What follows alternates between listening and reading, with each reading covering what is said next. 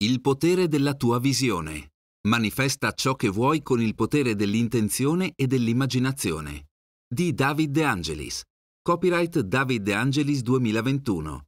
Narrato da Alex Martinelli. Tutti i diritti sono riservati. Quando una persona riconosce in sé il potere di cambiare, rinasce in una nuova vita. Una vita di speranza, di bruciante motivazione, di sogni, che un giorno, grazie alla fede e alla perseveranza, prenderanno corpo. Non siamo nati per soffrire, ma per imparare, per crescere e per godere di questo mondo che per alcuni è vera magia. Prefazione La vita è come il cubo di Rubik. Se ti dicessi che la vita è come completare il cubo di Rubik, ti spaventeresti, perché reputi impossibile e complicato mettere tutti i tasselli al loro posto? E se ti dicessi che ho conosciuto un ragazzo di 15 anni che lo completava in un minuto e mezzo in qualsiasi modo fossero mescolati i colori del cubo, ci crederesti? A volte le imprese della vita sembrano a prima vista impossibili, almeno fino a che non crediamo che esista una soluzione, e a volte la soluzione è più facile e naturale di quanto avessimo mai immaginato. Basta conoscere le regole ed i segreti del gioco per vedere accadere quelli che all'inizio avremmo reputato dei veri e propri miracoli. Il potere di creare in maniera intenzionale, come sarà spiegato in questo libro, è più semplice di quanto tu abbia mai immaginato. A volte si richiede addirittura di mollare la presa sui propri desideri per vederli affacciare nella nostra vita spesso è più facile trattenere che lasciare andare, specie quando si parla di desideri che ci stanno a cuore, mentre è proprio il lasciare andare che porta la nostra richiesta nell'universo per poi farcela recapitare nei modi che spesso non ci aspettavamo. Il ragazzo di cui parlavo prima, che completava il cubo di Rubik in un minuto e mezzo, non è un genio da Guinness dei primati con capacità di analisi particolari, ma un ragazzo normalissimo. Quel ragazzo ero io. Come dicevo poc'anzi, basta scoprire le regole del gioco per impadronirsi della via del successo. La storia è questa. Quando avevo 15 anni andava di moda il gioco chiamato il cubo di Rubik o il cubo magico. Ogni lato ha un colore ed è formato da piccoli tasselli che, una volta mischiati, devono essere rimessi al loro posto per ricomporre le facciate colorate del cubo. Che tu lo conosca o no, posso assicurarti che è un'impresa degna di un mega computer in quanto ogni movimento sbagliato può mischiare ancora di più i colori o al contrario ricomporli, se sai come fare. Ebbene, anche per quel gioco apparentemente impossibile, trovai un modo per completarlo in meno di due minuti. Come? Acquistai in edicola un libretto di appena 60 pagine e ad un prezzo irrisorio, dove venivano spiegate le mosse ed i movimenti necessari per completare ogni livello del cubo fino alla sua risoluzione. Magia? No, semplice tecnica. La differenza tra me e milioni di persone che non riuscivano a completare un solo livello del cubo, e devi sapere, più si va avanti nel gioco e più diventa complicato, in quanto ogni errore di movimento dei colori può mischiarli, erano delle istruzioni contenute in un libretto, oltretutto letto e appreso da un ragazzo di soli 15 anni. Con questo, caro lettore, Voglio dirti che spesso le regole del gioco sono semplici e portano a grandi, anzi enormi risultati se si prende la briga di fare un po' di pratica. Non dico che sia facile, almeno all'inizio. Quando si inizia a praticare un nuovo gioco o un nuovo sport, occorre fare un po' di pratica. A mano a mano, quando si acquisiscono competenze e sicurezza e successi, la vita diventa sempre più scorrevole e piena di soddisfazioni. Nella vita ciascuno ha il proprio gioco, costituito dai propri sogni e desideri, e seguire e raggiungere quelli autentici porta a nuovi piani di evoluzione, soddisfazione e gioia. Questa è la vita se sai prenderla dal lato giusto, e questo libro vuole insegnarti come fare. I sette punti chiave per manifestare la tua visione. 1. Accetta la responsabilità della tua vita. 2. Rispetta e accresci la tua energia vitale. 3. Trova la tua visione e seguila, scegliendo gli obiettivi che ti riempirebbero di gioia. 4. Indirizza la tua intenzione. 5. Metti a fuoco la tua immaginazione con il focus immaginativo. 6. Abbi fiducia che l'universo stia già rispondendo alla tua richiesta. Defocus immaginativo. 7. Agisci in maniera ispirata quando si presenta il momento. La mia storia, la mia visione. Immagina. Immagina un ragazzo di soli 15 anni che, con le mani nei capelli, gli è stata diagnosticata la sua miopia e che gli siano stati affibbiati il primo paio di occhiali correttivi. Immagina il suo disappunto, la sua delusione di dover portare a vita un peso sul suo viso, delle catene per la sua capacità di vedere liberamente il mondo. Immagina il suo senso di frustrazione nei confronti di qualcosa come gli occhiali che, a lui estraneo, deve per forza iniziare ad indossare sempre per non stancare la vista. Immagina questo ragazzo che dopo un paio d'anni di studio vede la sua miopia aumentare in maniera progressiva, quasi ineluttabile, che lo vede passivamente spettatore di un deterioramento progressivo della sua visione fisica.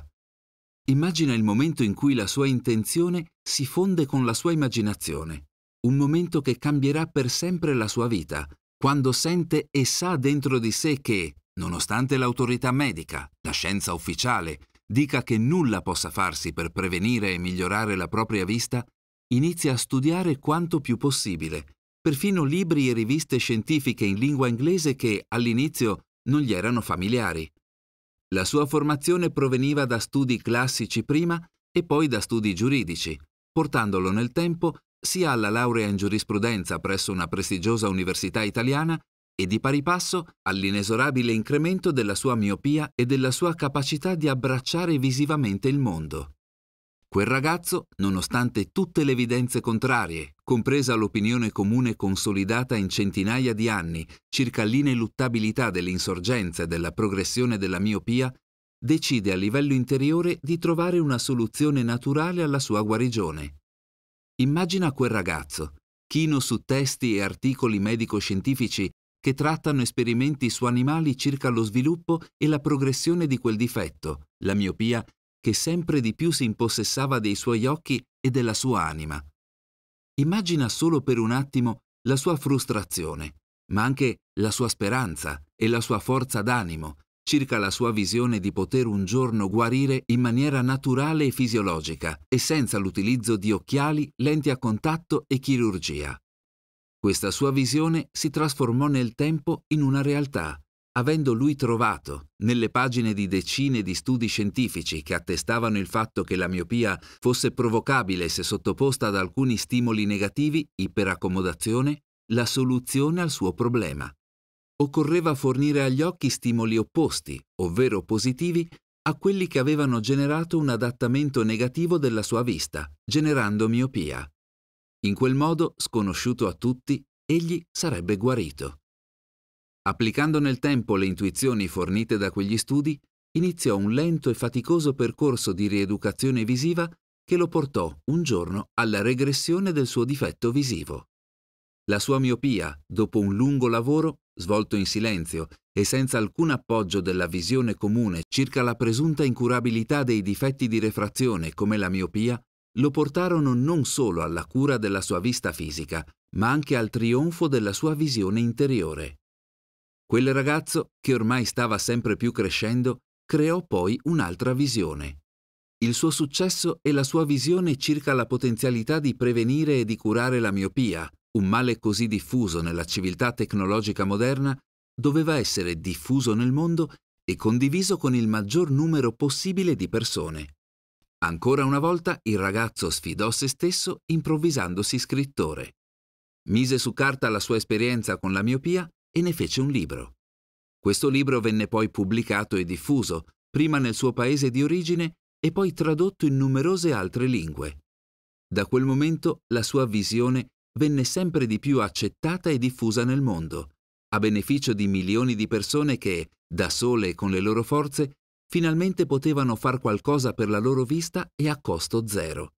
Anche questa visione di quello che un tempo era un ragazzo quindicenne senza credenziali mediche divenne una potente realtà.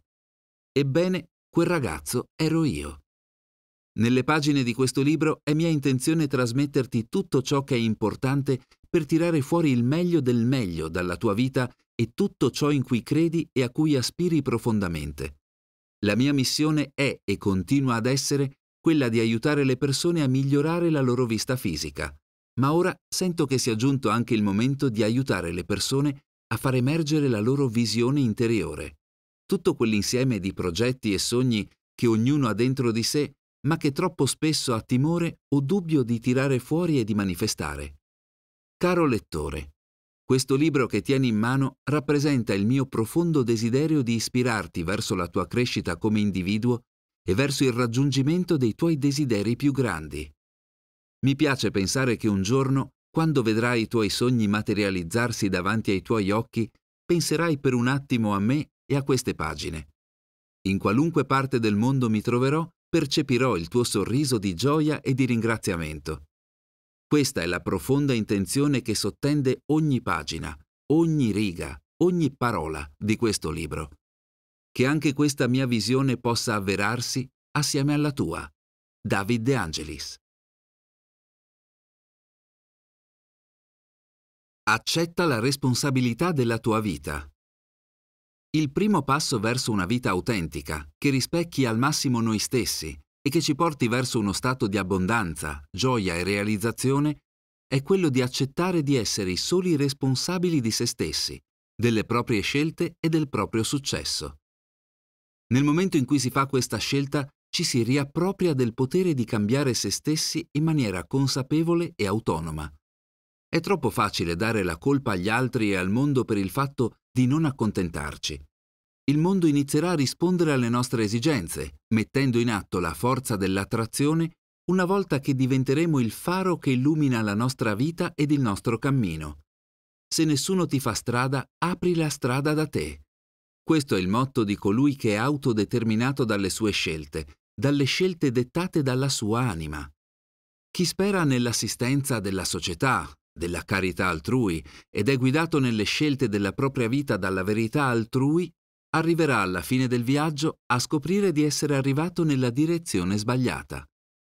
Ogni viaggio parte da se stessi e dall'accettazione di avere un ruolo fondamentale nella scelta della propria via e nell'accettazione del proprio potere di scelta e di azione. Chi dà la colpa agli altri per il proprio insuccesso nega il proprio potere di scelta nel determinare le proprie azioni. Commettere errori è normale per chi avanza nel proprio cammino. Sta ad ognuno accettare eventuali sconfitte e riarmarsi del proprio coraggio, dei propri desideri profondi e delle proprie convinzioni per continuare sulla strada della propria scoperta. Se un errore è fatto con il cuore, ovvero seguendo se stessi, è solo un'occasione per riconsiderare il proprio modo di agire. A volte basta poco per trovare la combinazione giusta se si fa tesoro dei propri errori.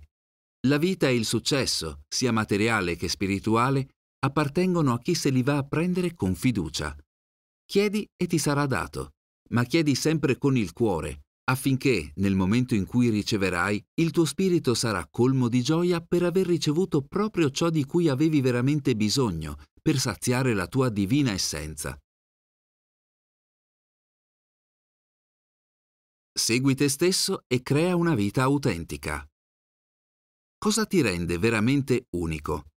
Non solo il colore dei tuoi occhi, la tua forma fisica, le tue impronte digitali e il ritmo del tuo cuore. Cosa ti rende veramente unico e irripetibile è la tua visione di vita, ovvero ciò che vuoi fare della tua esistenza in questo mondo.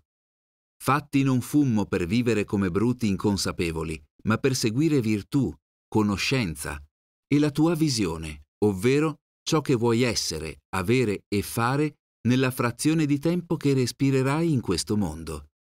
La tua visione di vita può addirittura estendersi oltre questo limite temporale che è la tua vita se il tuo intento è quello di fare qualcosa per il mondo in cui vivi e in cui gli altri esseri si avvicendano nelle varie epoche.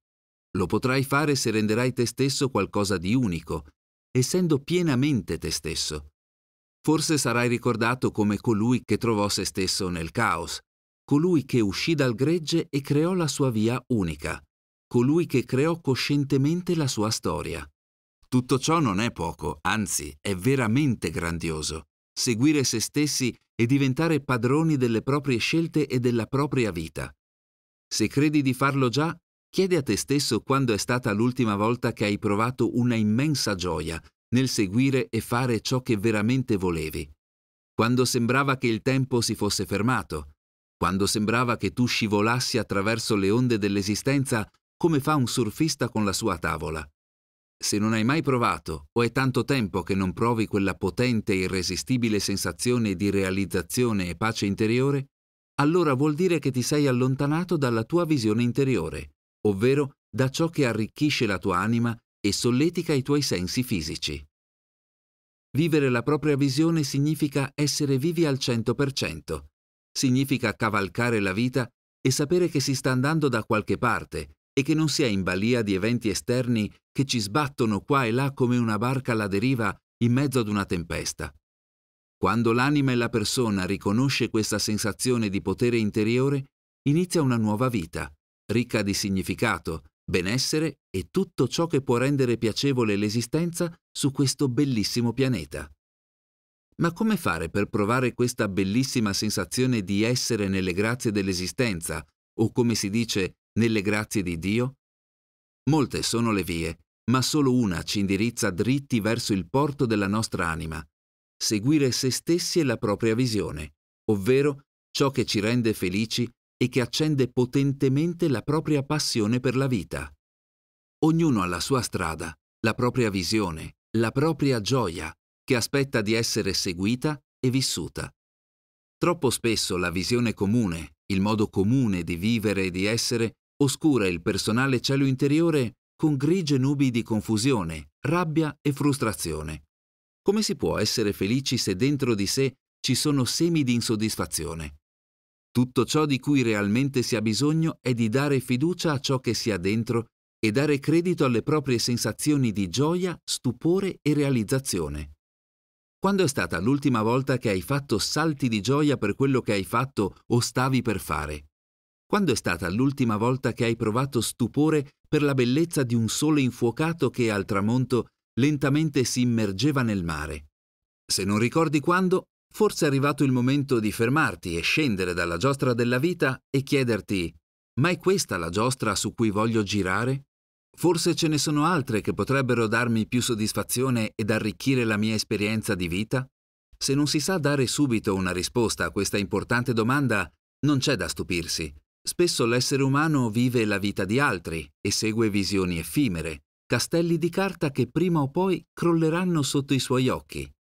Gli stereotipi della società, i simboli di successo imposti da essa, il lavaggio del cervello e il rapimento del proprio potere, ovvero della propria attenzione, operato dai media, rende l'essere umano un numero in una fila interminabile di esseri senza passione e senza visione interiore.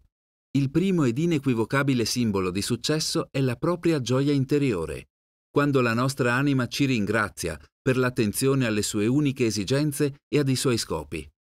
Tutto parte da lì, salute, benessere finanziario e perfino l'amore.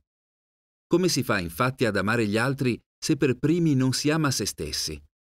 La frase ama gli altri come te stesso implica l'amore per se stessi che si esplica quando finalmente usciamo dagli stereotipi comuni e seguiamo finalmente ciò che sentiamo come la nostra strada verso la nostra felicità. Sacrificare la propria visione, la propria gioia, il proprio credo per seguire quello di altri significa tradire se stessi e la propria natura. Significa cadere nel baratro dell'uniformità. Significa diventare pecora in un gregge infinito significa essere manovrati verso gli altrui interessi e visioni. Il primo passo da intraprendere prima di avventurarsi nello splendido viaggio alla scoperta di se stessi e dal dispiegamento dei propri talenti, al vivere la propria vita, è quello di prendersi piena responsabilità della propria esistenza. Si diventa responsabili della propria vita quando si diventa consapevoli che sta a noi e solo a noi impegnarci nella scelta delle proprie scelte e nell'agire sul proprio cammino, non su quello di altri. A volte si crede di farlo già, quando invece si alimentano scopi altrui, per quanto benefici possano essere. Ciò che veramente ci appartiene è la nostra via, la nostra strada, il nostro modo di essere. Ma come capire se si è sulla giusta strada, sulla nostra linea di vita? Niente di più facile, ma anche di più difficile, in un mondo di caos dove la nostra attenzione viene continuamente rapita. Occorre indirizzare la propria attenzione dentro se stessi e chiedere alla propria anima qual è il fine della mia vita? Perché sono qui? La risposta verrà data dalle proprie profonde sensazioni e aspettative, e queste saranno sempre ricche di gioia. La gioia dell'anima è la vera ed inequivocabile risposta dell'anima alla domanda qual è la mia strada? Come posso fare della mia vita un capolavoro in termini di gioia, realizzazione, amore e benessere? Trova la tua visione e seguila con fiducia. Ogni opera d'arte, missione o impresa che siano mai state create sono nate da una visione interiore. Ogni creatore ha in sé il forte desiderio di portare alla luce dal suo immaginario quel qualcosa che lui sente sia possibile ma che è ancora immanifesto nelle possibilità della vita. La visione è quel qualcosa che nasce dal profondo dell'individuo come se fosse parte di lui stesso. Ogni grande impresa reca la firma di colui che l'ha compiuta. Senza una visione personale, un grande obiettivo da abbracciare e da manifestare, l'individuo barcolla in una vita di routine e di lento declino. Il declino nasce quando si viene trasportati nella vita senza una direzione ed in una forma di inerzia. Trovare la propria specifica visione di vita in ogni ambito, che sia creativo, finanziario, nei rapporti personali, richiede un attento esame di ciò che si cela dentro se stessi, in quella parte nascosta che tutto vede e tutto sa. Troppo spesso l'individuo è sballottato e trascinato qui e lì dalle mode e dagli stereotipi che di volta in volta cambiano nella società. L'unica grande verità è quella in cui credi profondamente.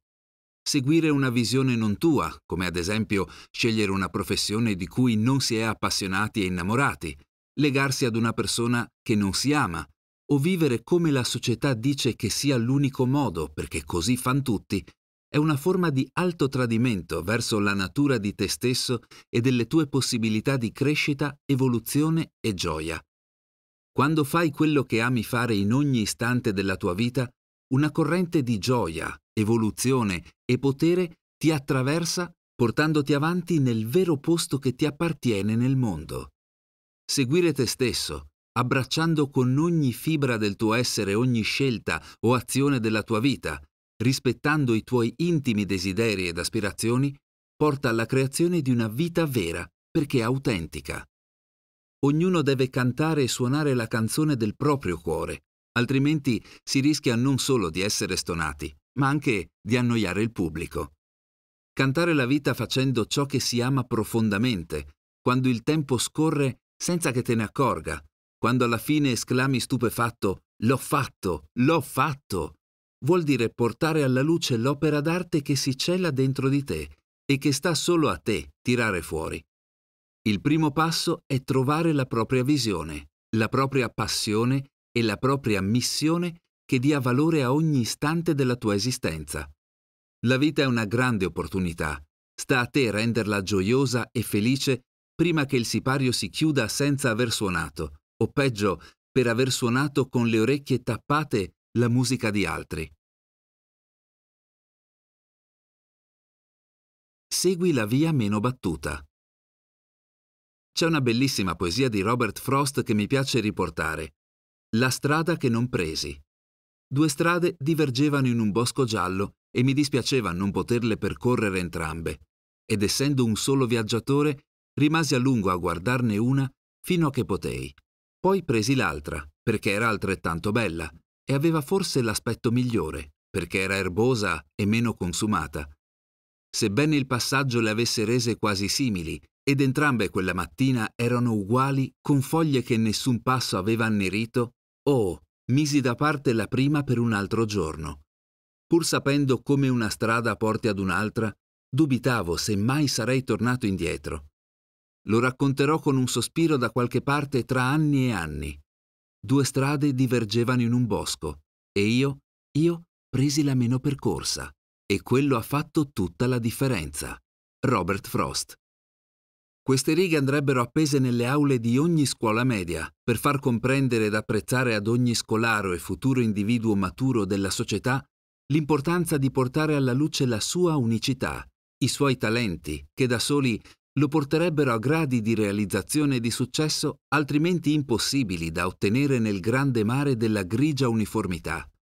Oggigiorno intere esistenze vengono sacrificate dietro a falsi miti e da falsi stereotipi, che vedono per esempio il raggiungimento di una laurea l'unica possibile soluzione verso una vita appagata e finanziariamente prospera. Nulla di più sbagliato.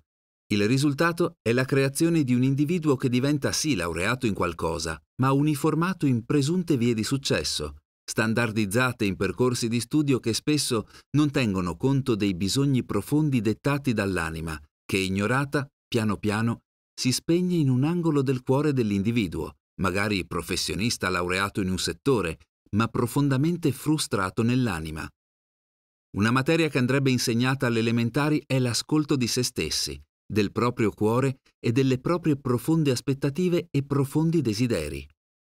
In questo modo ogni individuo forgerebbe la sua vita in base alla sua propria visione e non a quella dettata dai miti sociali dettati dall'epoca storica in cui vive la società e l'individuo prospererebbero in una sensazione di profondo benessere dettato come prodotto del benessere dell'anima. Tale benessere interiore è il primo fondamento di ogni ulteriore benessere secondario, come il benessere finanziario e nei rapporti sociali. Un essere felice e realizzato è maggiormente propenso a creare in qualsiasi lavoro o professione un'opera d'arte, quando la passione e la gioia creativa ne sono il fondamento Seguire la via meno battuta porta spesso a trovare se stessi e la propria speciale via di successo, perfino a grandi scoperte o realizzazioni che accreditati professionisti del settore non sono riusciti a fornire.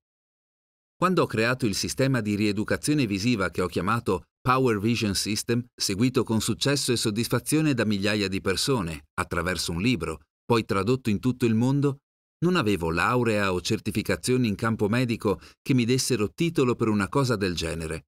Ciò nonostante l'ho fatto, seguendo l'impulso della mia passione che mi diceva che c'era una strada in quello che stavo facendo, nonostante ciò che studiavo e scrivevo fosse una parte nascosta della mia vita, sconosciuta a tutti. Seguì la strada meno battuta, nonostante allora fossi laureato in giurisprudenza e non in medicina, e questo fece un mondo di differenza. Dentro di te c'è un grande tesoro e solo a te è dato il compito e la grande opportunità di tirarlo alla luce. Spesso si guarda tutto tranne ciò che si cela dentro se stessi. Forse una grande opportunità ed un grande ed avventuroso viaggio si cela all'interno di te. Inizia ad ascoltare la tua voce interiore e spegni il rumore assordante delle aspettative che la società ti impone e tira fuori quel te stesso che renderà la tua vita un capolavoro. Trova la tua visione ed abbracciala. Forse un giorno ricorderai queste mie parole e sorriderai con un senso di gratitudine nel cuore. Isolati dal pazzo mondo e dal caos dei media. Come avrai iniziato a capire, la grande risorsa per cambiare la propria vita è il potere di attenzione, focus. Dove va la propria attenzione e concentrazione, lì va la propria energia creativa. Letteralmente creiamo ogni volta che fissiamo i nostri pensieri su qualche argomento, oggetto, immagine, producendo e generando di conseguenza un sentimento collegato a quel determinato oggetto o immagine mentale. Compreso questo concetto, è facile capire come sia necessario fare buon uso della propria attenzione cosciente e poi, come vedremo, anche di quella incosciente o subliminale. Si può essere infatti condizionati a pensare, agire e sentire anche dall'ambiente e dagli stimoli a cui non diamo diretta coscienza e attenzione, ma che, in ogni caso, assorbiamo dentro la nostra anima o subconsciente a livello inconsapevole. Il potere dell'attenzione è simile ad un conto in banca. Immagina di avere una cifra da spendere per il tuo sostentamento fisico. Vai in un grande centro commerciale e inizi a spendere, come se fosse il tuo capitale di attenzione, a tutte cose inutili e superflue per la tua sopravvivenza e crescita. Inizi quindi ad acquistare una crema per le mani, 10 pacchetti di caramelle, due di sigarette, un lucido da scarpe, quando magari la tua anima ancora non ne ha un paio, un enorme televisore high-tech, indebitandoti in comode rate quando la stanza in cui vivi è in affitto. È una pazzia. Stai così buttando all'aria una risorsa, il tuo piccolo capitale di soldi e di attenzione, su cose letteralmente superflue ed inutili, nell'ottica di spese più utili come pane, acqua e o libri per la tua crescita. La stessa cosa vale per l'attenzione, che è comunque un bene intangibile, ma comunque di valore, e te ne accorgerai quando inizierai a creare anche beni tangibili attraverso di essa.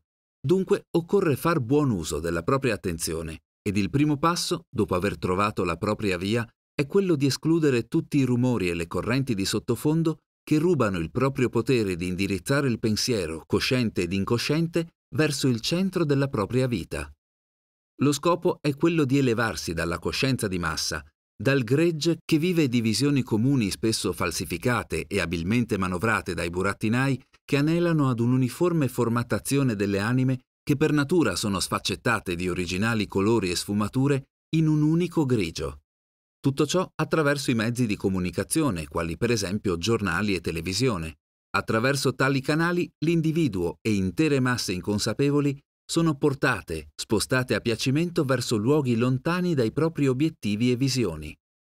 I luoghi emotivi e gli obiettivi di vita dove sono spostati sono tutti orchestrati in modo da allontanare l'individuo dalla presa di coscienza di avere in sé il potere di scelta, ovvero di scegliere la propria via e non quella imposta da altri. La massa inconsapevole viene intrattenuta con programmi demenziali dove si canta insieme e si battono a tempo le mani come fossero bambini dell'asilo, quando l'anima anela alla sua grandezza, alla sua realizzazione, al suo potere sulla propria vita. Interi articoli di giornale scrivono fiumi di parole su ciò che dice, fa o si presume che pensi un calciatore o l'attore di turno, quando il capitale di attenzione di ciascuno viene letteralmente bruciato come un mazzo di banconote con l'accendino. Il primo passo è quindi quello di spegnere la tv ed accendere la propria anima attraverso la propria immaginazione, sapientemente indirizzata verso i propri obiettivi di vita.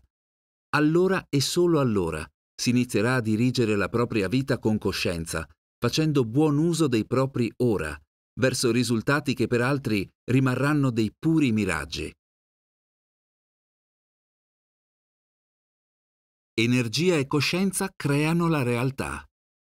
Il pensiero crea e manifesta attraverso la focalizzazione della sua energia, come se fosse l'argilla messa in uno stampino. Se abbiamo le forme pensiero, gli stampini, ma non abbiamo l'argilla di cui riempirli, l'energia, quello che ne verrà fuori sarà un notevole ritardo nella creazione, o quantomeno non accadrà nulla, e noi staremo ancora a chiederci come mai il nostro focalizzare non abbia prodotto alcun risultato. Proprio come una lente d'ingrandimento può dare fuoco ad un pezzo di carta focalizzando in un punto i raggi del sole, così è con i pensieri. Possiamo avere la lente del nostro focus mentale, ma se non ci sarà energia sottostante ad irraggiare ed a trasmettere tale concentrazione, a poco o a nulla porterà il processo. Possiamo avere le idee ed i pensieri che vogliamo, ma se non avranno la forza per essere focalizzati, non avranno l'energia necessaria per collassare nella realtà manifesta.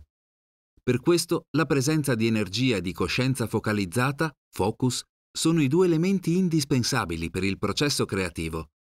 Il pensiero focalizzato e finalizzato diventa quindi potente quando è sorretto da una base energetica. Ci sono due tipi di base energetica, quella mentale e quella fisica. Ambedue sono importanti, in quanto rappresentano i propulsori del pensiero focalizzato. Base energetica mentale, la motivazione e la passione.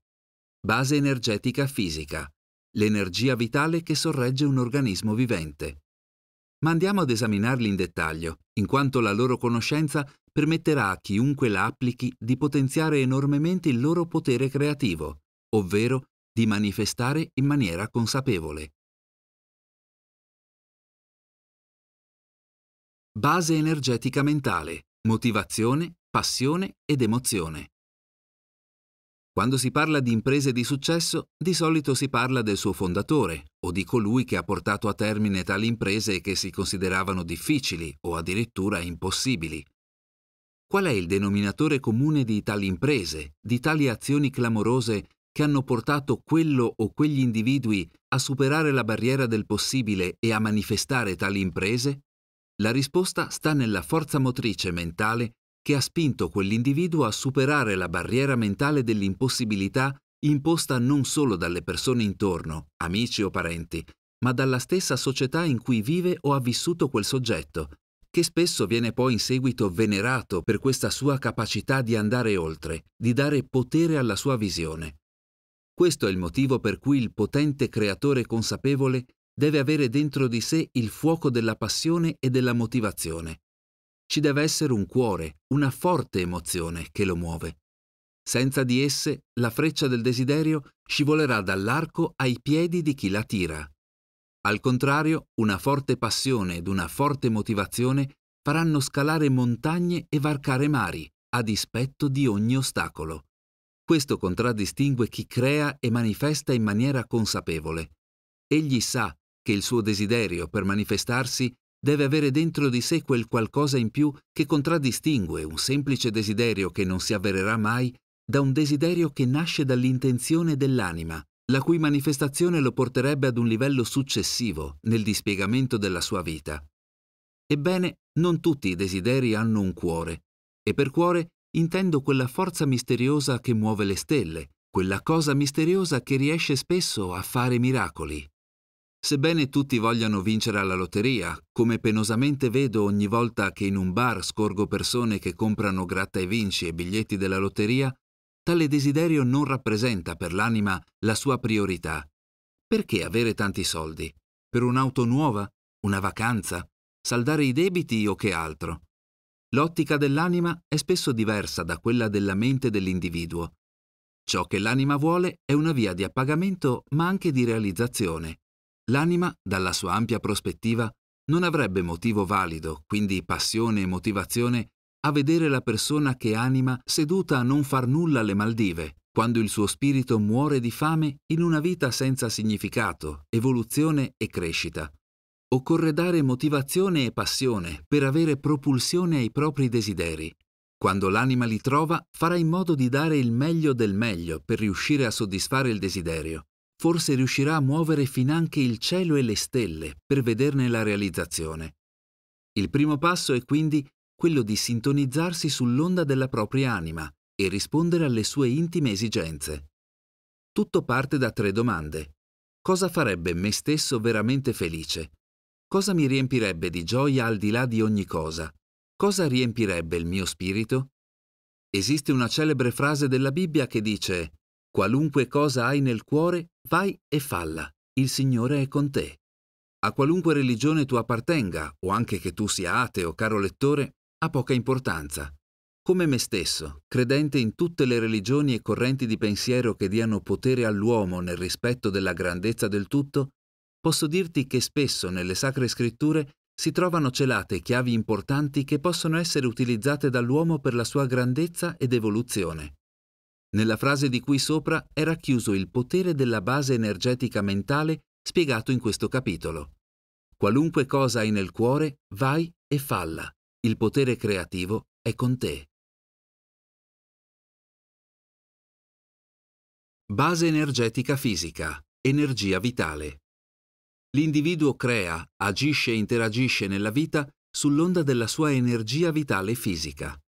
L'energia vitale è quella forza che contraddistingue un essere animato da uno inanimato. Si è vivi grazie all'energia vitale, così come si è vitali sempre in base ad essa. Esiste una enorme differenza tra l'essere vivi e l'essere vitali. Tutti gli esseri umani che incontriamo per strada o sentiamo al telefono sono vivi, ma molti meno di essi sono vitali.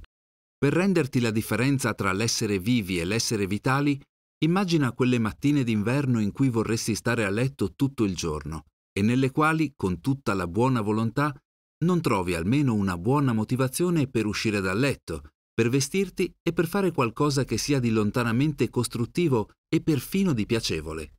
In quei momenti sei vivo ma non vitale. Al contrario, ricorda un momento in cui ti sentivi pienamente connesso con la vita e con tutti i suoi esseri.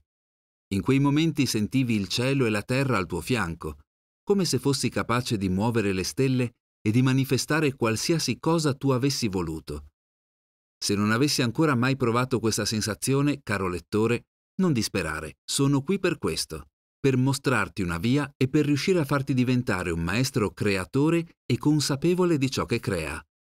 A mano a mano che si invecchia, tale energia vitale diminuisce, spesso a causa di una progressiva mancanza di motivazione nel vivere, quando l'anima si accorge penosamente che il tempo sta inesorabilmente volando via ed il sipario si chiuderà un giorno senza aver mosso un solo passo verso il fine dell'esistenza dell'individuo che anima. Ed è per questo che le persone felici realizzate vivono di più, in quanto hanno motivo di esistere. Tuttavia esistono sempre momenti e giornate di questo tipo, anche per l'essere più vitale. Se un'eccezione diventa una regola, occorre capire il perché chiedendosi dove posso trovare la mia passione di vivere? Cosa mi renderebbe veramente felice? Cosa riempirebbe la mia anima? Di certo la risposta non arriverà istantanea, specie se la domanda è posta una tantum ed in maniera distratta. Occorre anche qui una motivazione dietro la motivazione, ovvero a sapere cosa volere.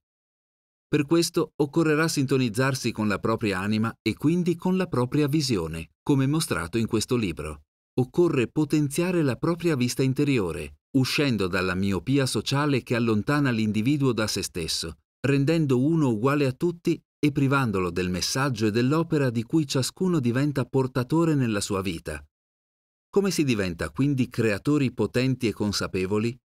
Si diventa creatori potenti e consapevoli diventando creatori della propria visione e portando alla luce se stessi, riconnettendosi con le esigenze della propria anima. In questo modo i nostri pensieri saranno più potenti e focalizzati, in quanto saranno riconosciuti come veri ed autentici. Il secondo passo, dopo aver trovato se stessi attraverso la riappropriazione della propria visione, sarà quello di potenziare la propria energia e vitalità fisica attraverso un lavoro sul corpo. Questo rappresenta un passo fondamentale per il successo sulla via della creazione consapevole. Chi nega il corpo e tutto ciò che influenza il corpo come l'alimentazione e il giusto allenamento, nega una parte fondamentale di ogni essere fisico. Men sana in corpore sano. Sta a significare che la mente ed i pensieri proiettano il loro potere creativo attraverso il potere del corpo, che è energia vitale ed anch'essa creativa. Nessun macchinario funziona senza un tipo di propulsione energetica e il corpo umano non fa eccezione. Non sono solo le calorie degli alimenti a far muovere il corpo, ma anche la quantità di energia vitale racchiusa in esse. Oltre a ciò, il corpo deve fare in modo di essere idoneo e capace di far scorrere tale energia, e questo lo si può fare rendendolo un superconduttore di energia. Immagina una batteria normale ed una alcalina. La maggiore capacità della batteria alcalina dipende dalle sue caratteristiche fisico-chimiche che le permettono di mantenere più a lungo una carica elettrica energetica. Il corpo umano è lo stesso. Occorre fare in modo che riesca a far scorrere dentro di sé una quantità ottimale di energia non solo per il corretto funzionamento degli organi vitali, ma anche per fare in modo di inondarlo di una base energetica vitale che gli permetta di dare forza alle idee ai suoi pensieri in modo che aumentino il loro potere creativo di manifestare nella realtà materiale. Accresci e rispetta la tua energia vitale. Una delle più grandi e preziose risorse che abbiamo in questo mondo materiale è la scintilla di vita che è in noi, quella che ci permette di aprirci ogni giorno a nuove opportunità di crescita, di condividere chi siamo con gli altri e che ci permette di godere delle bellezze del mondo. Se tu ti potessi vedere per un solo attimo senza quella scintilla di vita che brilla ora dentro te, capiresti immediatamente di cosa ti sto parlando noi non siamo solo il nostro corpo, ma anche tutto quell'universo che gli scorre dentro a livello di emozioni, desideri, speranze, affetti, amore e un'infinità di altre sfumature che fanno di ognuno di noi una creatura unica. Mi accorsi di questo in maniera evidente quando vidi mio padre incosciente in sala di rianimazione e poi, dopo qualche giorno, esanime su un tavolo. Lui era lì immobile, senza tutto quel mondo di spirito e allegria che lo avevano sempre accompagnato. Quando vedi la morte ti è data l'opportunità di riflettere ancora di più sulla vita e sull'importanza di perseverare quella luce di vita che ci accompagna nel nostro viaggio. Con questo voglio dirti che non esiste cosa più importante di fare tesoro di ciò che ci tiene in vita, la nostra energia vitale. Alcuni tengono di più alla propria automobile che al proprio corpo, veicolo principe che ci accompagna letteralmente ed in ogni momento nel cammino della vita. Fanno i tagliandi e i check-up all'automobile, ma non pensano a come fare in modo che il corpo e la sua energia durino più a lungo e nella maniera più efficiente possibile. L'energia vitale ci permette non solo di mantenerci in uno stato di salute, ma anche di radiante vitalità. Non è sufficiente mantenere il corpo in vita, nel comune ed errato senso del termine come assenza di malattia, ma occorre permettere ad esso di far risplendere la sua essenza attraverso emozioni, amore e creatività. La vita non è trascinarsi ogni giorno verso un altro giorno, ma fare di ogni giorno una rinascita verso un nuovo orizzonte evolutivo, di crescita e di gioia. Uno stato naturale di benessere significa gioire del fatto di essere vivi e di apportare un cambiamento positivo nella propria vita. Significa permettere all'anima di parlare attraverso di noi, nelle cose che facciamo, che pensiamo e in cui crediamo. Per permettere alla visione autentica di noi stessi di emergere, occorre avere dentro se stessi quel grado di vitalità che ci tira fuori da una vita stanca, depressa e ripetitiva verso una vita di crescita, gioia e realizzazione. Per fare ciò è fondamentale e necessario onorare lo spirito vitale dentro di noi. Il primo passo è quello di rispettare il proprio corpo, esponendolo il meno possibile ad elementi per esso nocivi, e di seguire regole di vita che mantengano e accrescano il suo grado di vitalità fisiologica. La fisiologia ha regole e prescrizioni che permettono di innalzare e perseverare questa preziosa risorsa che è appunto l'energia vitale.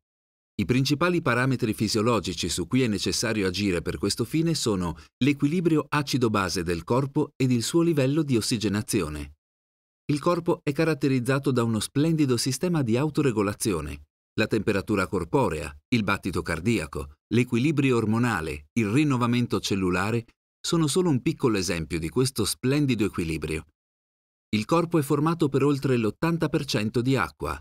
La componente di acqua del nostro corpo ha un suo caratteristico equilibrio di acidità ed alcalinità.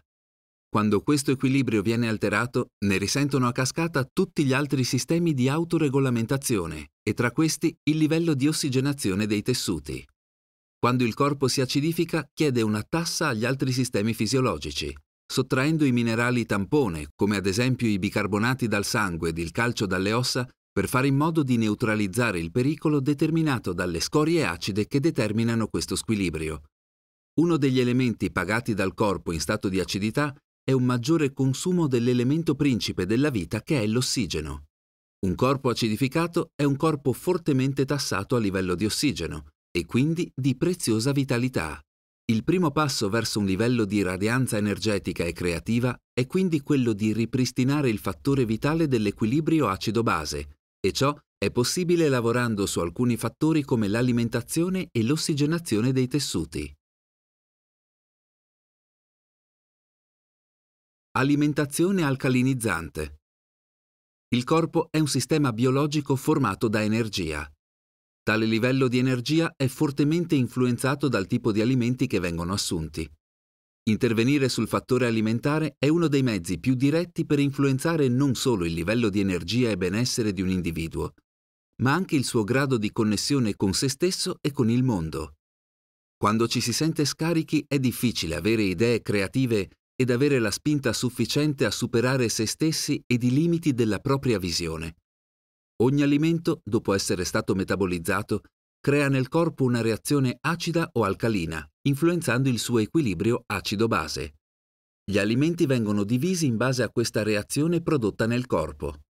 Dato che siamo formati per circa l'80% di acqua, essere immersi in un ambiente alcalino tra sangue, liquido intra ed extracellulare, nonché gli stessi tessuti, permetterà al corpo di mantenere il flusso di energia.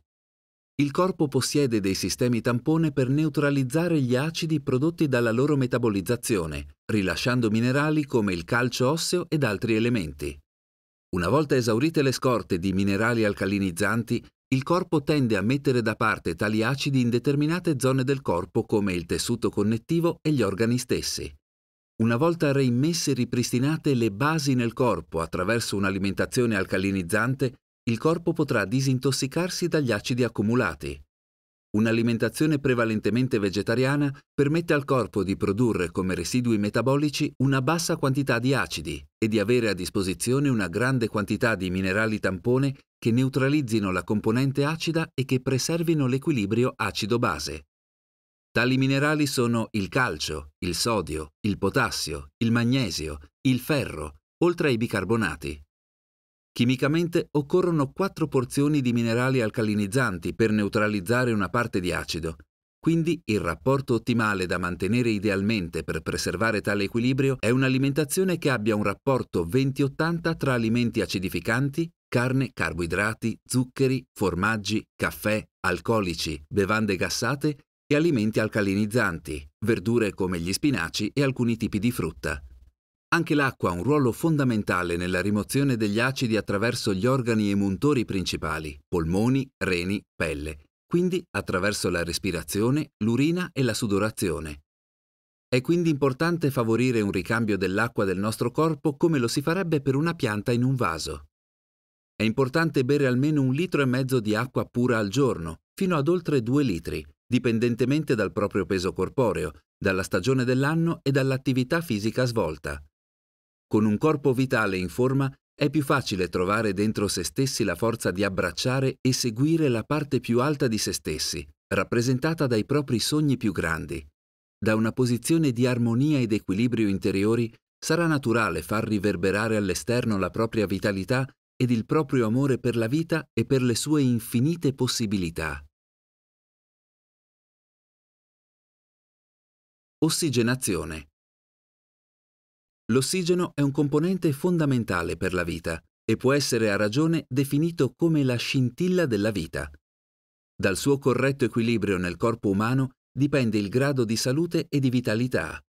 Nell'ottica del benessere e dell'armonia psicofisica, presupposti fondamentali da cui partono scelte motivate e consapevoli verso la propria visione più autentica, l'ossigeno acquista un'importanza fondamentale non solo la vita dipende dalla sua presenza nel corpo, ma anche lo stesso livello di vitalità e di connessione con la propria parte più profonda.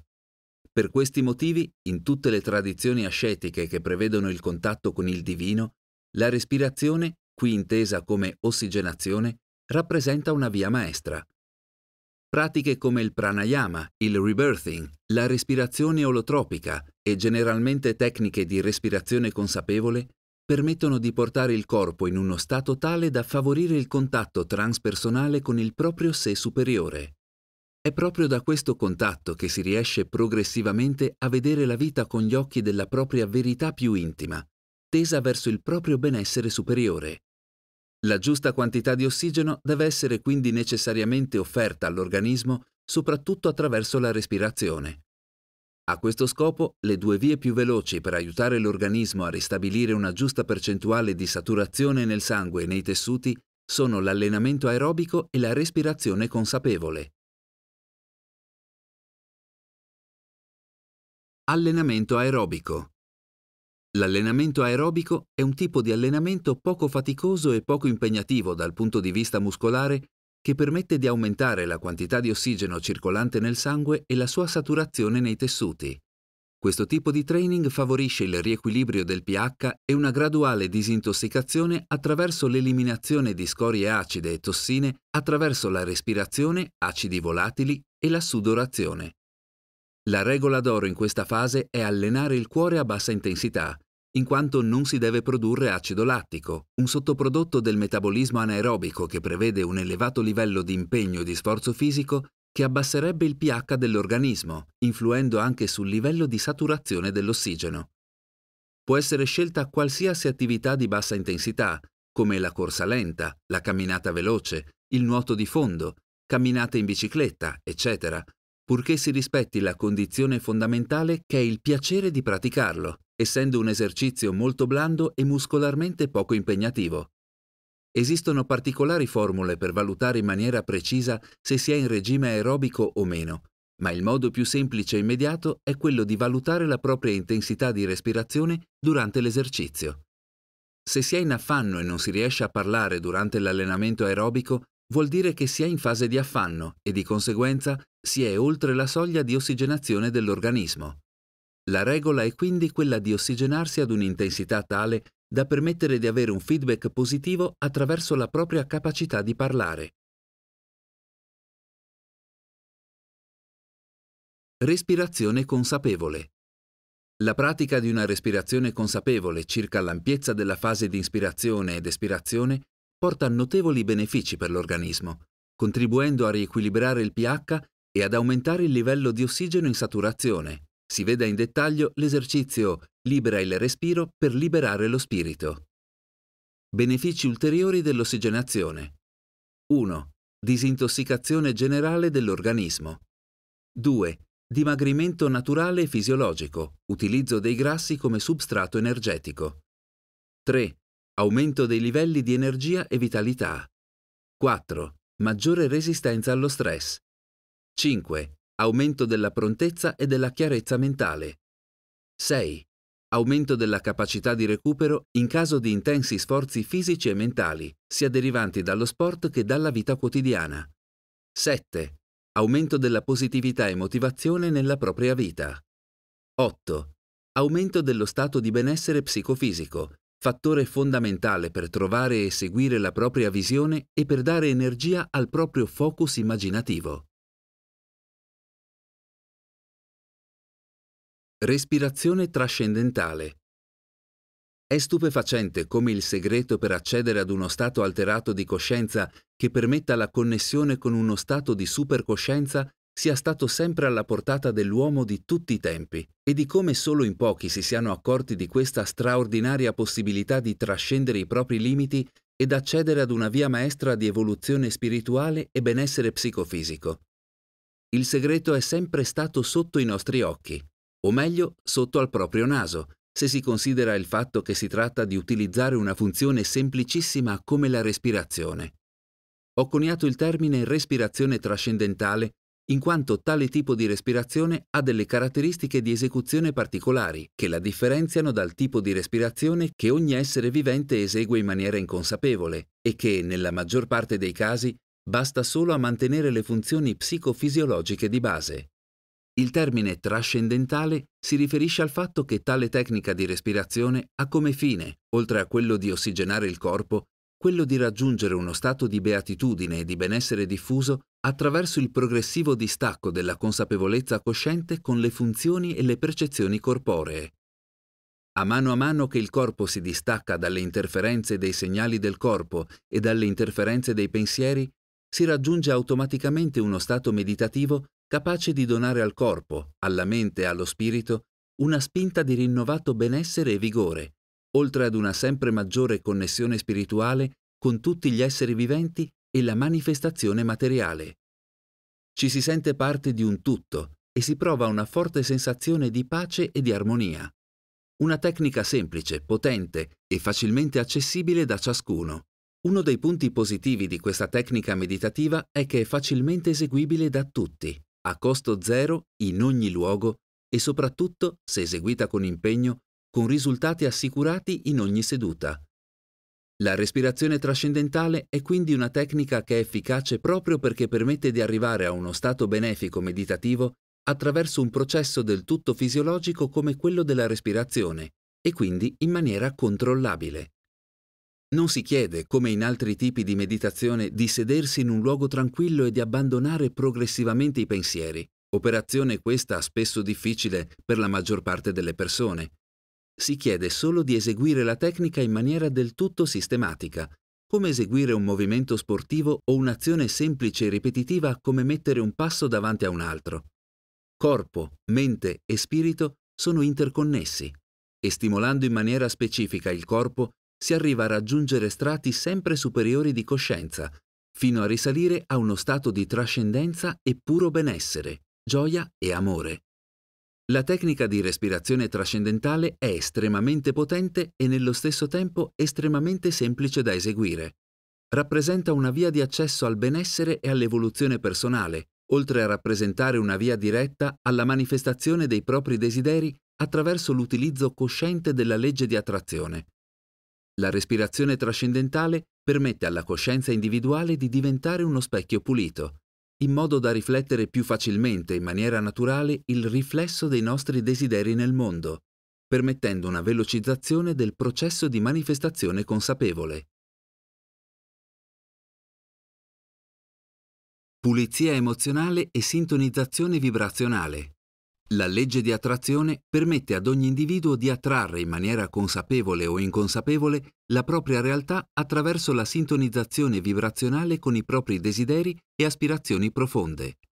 La manifestazione dei desideri è direttamente proporzionale non solo al grado di chiarezza e di focalizzazione degli obiettivi, vedi la tecnica della realtà virtuale nella sezione pratica, ma anche alla capacità di riflettere in maniera pura e innocente, senza interferenze, lo stato o emozione che si vuole vivere e manifestare nella realtà individuale. Le interferenze sono costituite dalle credenze e convinzioni, dai pregiudizi e dalle paure che, radicate nella coscienza dell'individuo, causano una distorsione del segnale vibrazionale diretto a creare una risonanza e attrazione nel mondo materiale e individuale. Il mondo materiale riflette principi immutabili presenti a livelli superiori di realtà e per rendere chiaro il concetto di come si possa velocizzare la manifestazione dei propri desideri attraverso la pulizia e rimozione delle zavorre, delle credenze contrarie all'obiettivo, le paure, si pensi come esempio a come si possa migliorare la progressione di un aeroplano. Per fare in modo che un aeroplano raggiunga più velocemente e con minor sforzo una meta, occorre non solo lavorare sulla potenza dei motori, ma anche diminuire il suo peso e ottimizzare la sua aerodinamicità rapportato alla coscienza individuale per fare in modo che le nostre mete e obiettivi siano più facilmente e velocemente raggiunti a livello vibrazionale e consapevole attraverso la legge di attrazione, non basta semplicemente aumentare il focus, fase attiva della manifestazione, come ad esempio scrivere gli obiettivi e utilizzare l'immaginazione creativa, vedi tecnica della realtà virtuale, ma occorre diminuire progressivamente tutte le zavorre mentali ed emozionali contrastanti che pesano sulla coscienza, ostacolando la progressione verso una istantanea manifestazione del desiderio, credenze negative e paure. Lo scopo è quello di pulire la coscienza fino a farla diventare talmente pulita e lucida da riflettere in maniera automatica e senza alcuna resistenza ogni desiderio ed emozione dell'individuo. Questo è il segreto dietro al segreto. Il segreto della manifestazione consapevole è quindi duplice. Da una parte c'è una fase attiva di creazione, attraverso l'immaginazione creativa e la focalizzazione consapevole. Dall'altra c'è una fase passiva di permettere alla propria coscienza di riflettere senza ostacoli i propri desideri e le proprie emozioni, che riverberano poi nell'universo e che, attraverso la legge di attrazione, ricapiteranno quanto chiesto con il processo attivo di manifestazione. Il processo sottostante alla manifestazione è quindi quello di pulizia interiore dalle resistenze, e che permette quindi un fluido allineamento con l'oggetto della richiesta o manifestazione. Il processo passivo di manifestazione e quindi di pulizia progressiva della coscienza dalle resistenze inconsce e allineamento vibrazionale con il desiderio può essere raggiunto in maniera diretta attraverso il raggiungimento di uno stato di connessione e di fusione con uno stato di trascendente beatitudine prodotto con l'accesso ad uno stato superiore di coscienza, in molte tradizioni esoteriche, religioni e nella stessa psicologia definite con nomi di coscienza cosmica, stato di beatitudine, Dio, supercoscienza, eccetera. Accedere a questo stato e allinearsi ad esso in maniera sistematica e cosciente nella propria vita permette l'accesso al campo delle possibilità, in cui la manifestazione consapevole dei desideri diventa automatica, naturale e senza alcuno sforzo. È questa la prerogativa di un uomo o di una donna che siano in contatto con la fonte e che siano un riflesso più o meno fedele di essa. La respirazione trascendentale è uno degli strumenti più facili, semplici e diretti per accedere a questo stato e per permettere di sciogliere le resistenze interiori che ostacolano alla propria coscienza il riflettere in maniera chiara e cristallina i propri desideri e la loro manifestazione. Solo la pratica individuale e l'impegno personale possono permettere ad ognuno di provare quanto finora affermato. La sola lettura di uno spartito non permette alla melodia di risuonare, come invece avviene quando si prende in mano uno strumento e si inizia a suonare. Connettersi e allinearsi con uno stato trascendentale superiore è come imparare uno sport o suonare uno strumento. Occorre una pratica costante della tecnica e permette con il tempo di gioire degli straordinari risultati. Con l'aumento di fenomeni di sincronicità e serendipità, attraverso la manifestazione di stupefacenti coincidenze, verso la manifestazione dei propri obiettivi e desideri consapevolmente attratti, si proverà una sensazione di stupore, gioia e potere personale attraverso la creazione intenzionale e consapevole. Integrazione psicosomatica e manifestazione. Nella pratica della respirazione trascendentale per il raggiungimento di uno stato di beatitudine e di benessere fisico, mentale e spirituale si potranno incontrare all'inizio alcuni ostacoli, che rappresentano la prova che sia necessario un lavoro progressivo di pulizia emozionale ed allineamento con uno stato di coscienza superiore. L'aumento della frequenza respiratoria e della sua intensità porta in pochi minuti ad una migliore ossigenazione dei tessuti, sangue compreso, e ad un aumento del pH corporeo, facilmente riscontrabili mediante esame ossimetrico e la misurazione del pH urinario con cartine tornasole. A tale variazione di due parametri vitali del grado di perfusione dell'ossigeno e dell'aumento del pH si potrebbero ricondurre gli stati di tensione fisica, stato di tetania agli arti e alla bocca, provocati dall'aumento della frequenza dell'intensità respiratoria durante la respirazione trascendentale. Tali stati di forte e involontaria ipercontrazione delle mani, spesso tenute ad artiglio, nelle gambe e sulla bocca, dove le labbra si trovano in posizione di contrazione ad anello, sono conosciuti in medicina come fenomeni di contrazione tetanica dei muscoli, in cui il muscolo è involontariamente tenuto in una fase di continua contrazione, spesso dolorosa. Dal punto di vista psicosomatico e bioenergetico, tali segmenti corporei, la bocca, le gambe e le mani, sono i punti di contatto e di interazione dell'individuo con gli altri e con il mondo, rappresentando una probabile problematica sottostante. Tali contrazioni devono essere considerate dei veri e propri blocchi psicofisici ed emozionali con il mondo esterno. In presenza di tali blocchi durante la respirazione trascendentale sarà necessario continuare la respirazione fino a che si sentirà un progressivo rilascio di tali tensioni, segno questo di una vera e propria integrazione e liberazione da tali blocchi inconsci. La personalità dell'individuo sarà quindi liberata da tali bagagli emotivi, spesso inconsci e non conosciuti, verso una maggiore fluidità caratteriale e relazionale dell'individuo.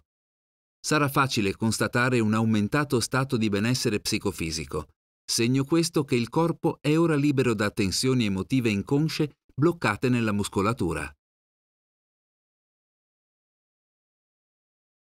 Crisi di pianto e sblocco emozionale.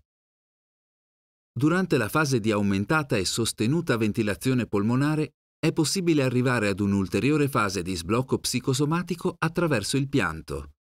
Il pianto, come lo sbadiglio, è e dovrebbe essere una fase di risposta automatica del corpo e dello stato emotivo, ma spesso, per numerose ragioni collegate alla soppressione dell'individuo dei suoi stati emotivi, quante volte si trattiene la rabbia o l'emotività, si arriva a relegare tali emozioni in recessi nascosti della coscienza. Tale soppressione non cancella le emozioni inespresse, ma le accumula pericolosamente nel corpo nella coscienza stessa dell'individuo.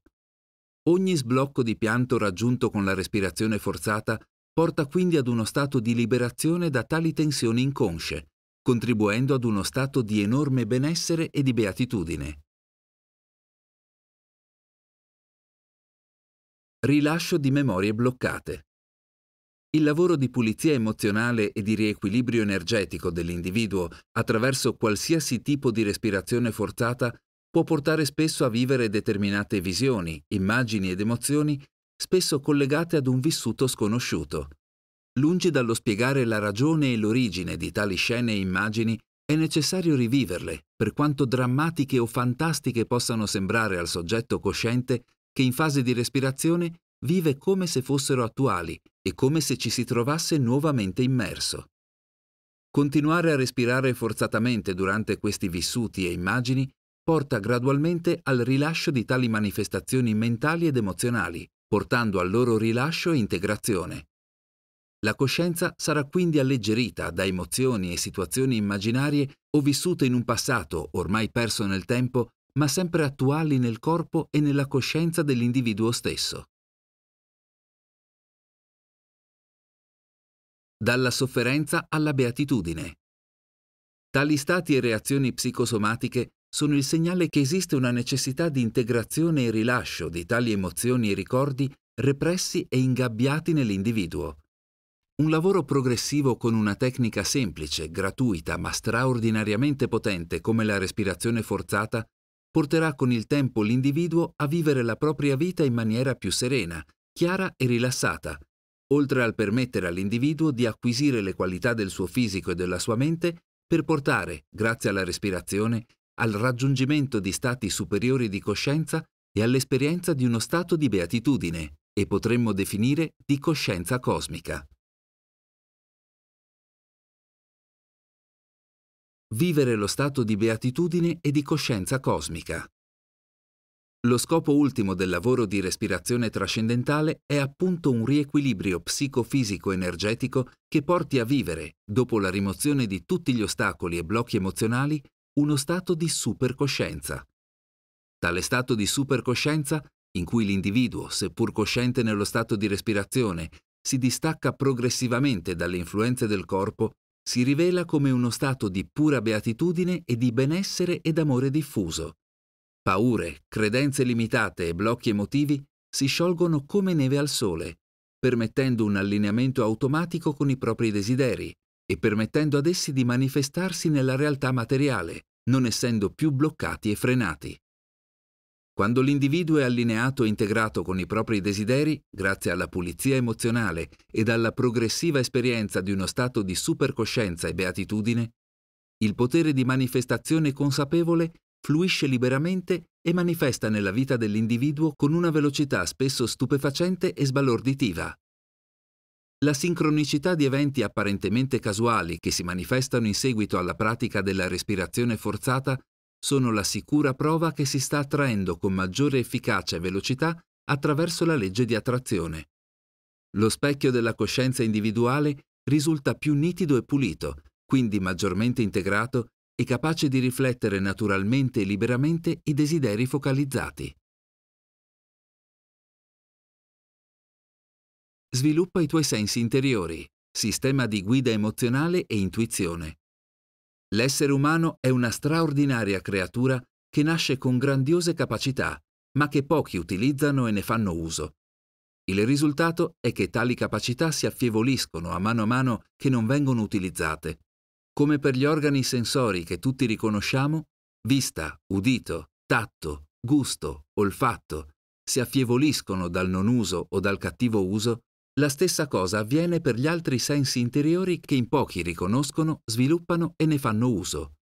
Facendo quindi consapevole uso di questi sensi superiori, se ne riesce a perfezionare il funzionamento e ad utilizzarli nella propria vita. Oltre ai cinque sensi normalmente riconosciuti, ne esistono altri di natura più sottile, che una volta accettati come corredo umano, possono portare l'individuo a livelli di percezione superiori. Immagina di sapere prima di conoscere, oppure sentire a livello emotivo qualcosa prima che accada. Sono strumenti di lusso per l'essere umano che non sa di averli o ha dimenticato di possederli. Questi sensi sono come delle spie ed indicatori che possiedono solo le automobili più costose e sofisticate. Non utilizzare questi sensi superiori è come andare in giro per la vita con le sole spie della benzina e della temperatura dell'olio quando potremmo avere un sistema GPS per trovare la giusta direzione di vita e una mappa con i punti di ristoro, i distributori di carburante e molto altro. La società attuale in cui scrivo condiziona l'essere umano a fare affidamento solo sugli input esterni, visibili e toccabili, allontanandolo dal miracolo di sistemi guida ultra sofisticati che trascendono addirittura il tempo e lo spazio, essendo il tempo e lo spazio solo funzioni della vita materiale e non di quella multidimensionale. È come se andassimo in giro con un metro e una bilancia per catalogare e capire la vita, quando abbiamo a nostra disposizione altri ben più sofisticati sensi di misurazione.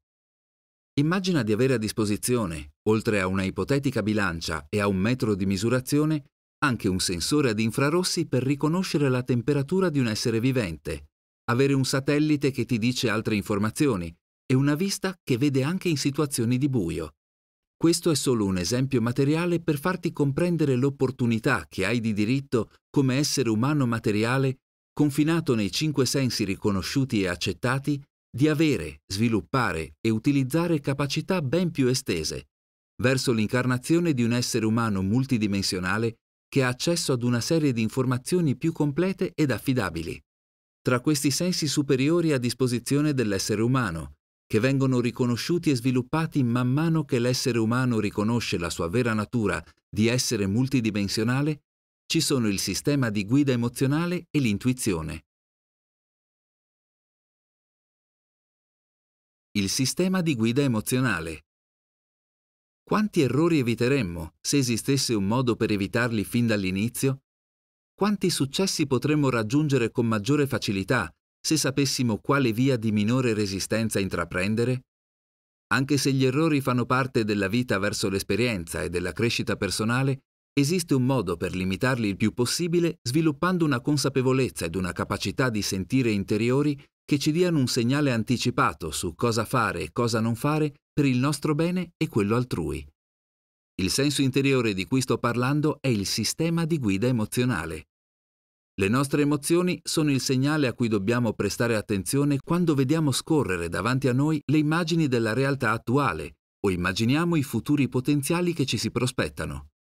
Quante volte ci siamo detti lo sapevo dentro di me, me lo sentivo, oppure Dovevo dare retta alle mie sensazioni. La nostra capacità di sentire va ben oltre i limiti di valutazione mentali prodotti dall'analisi dei fatti esistenti al momento presente, quei fatti che altro non sono che il frutto di una valutazione tridimensionale. Il nostro sapere interiore va ben oltre i confini dei cinque sensi.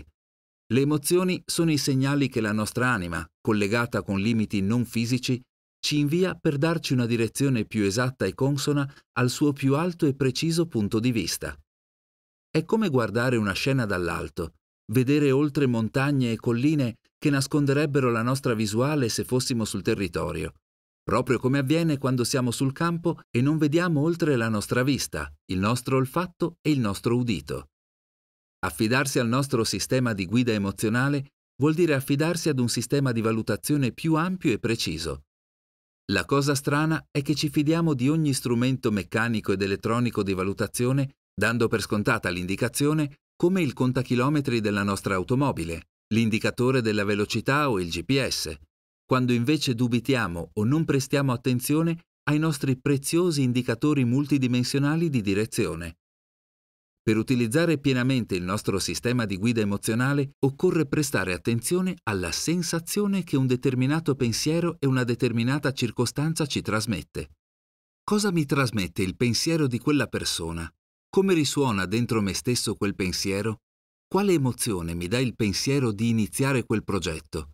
Paura, dubbio o entusiasmo al di là di qualsiasi ostacolo che ci possa essere al momento?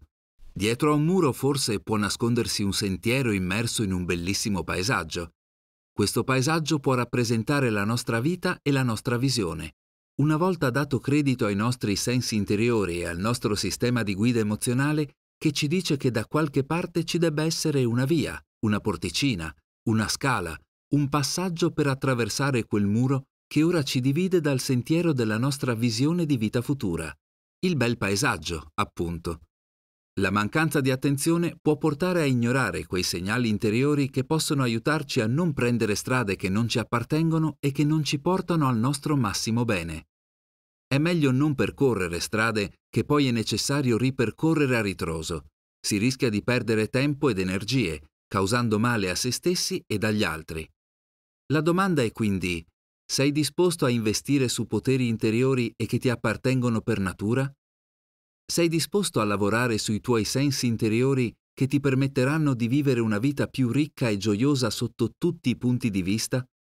Non occorrono soldi da investire, solo decidere di prestare attenzione al proprio mondo interiore di sensazioni e di andare avanti con fiducia sulla strada della propria visione di vita.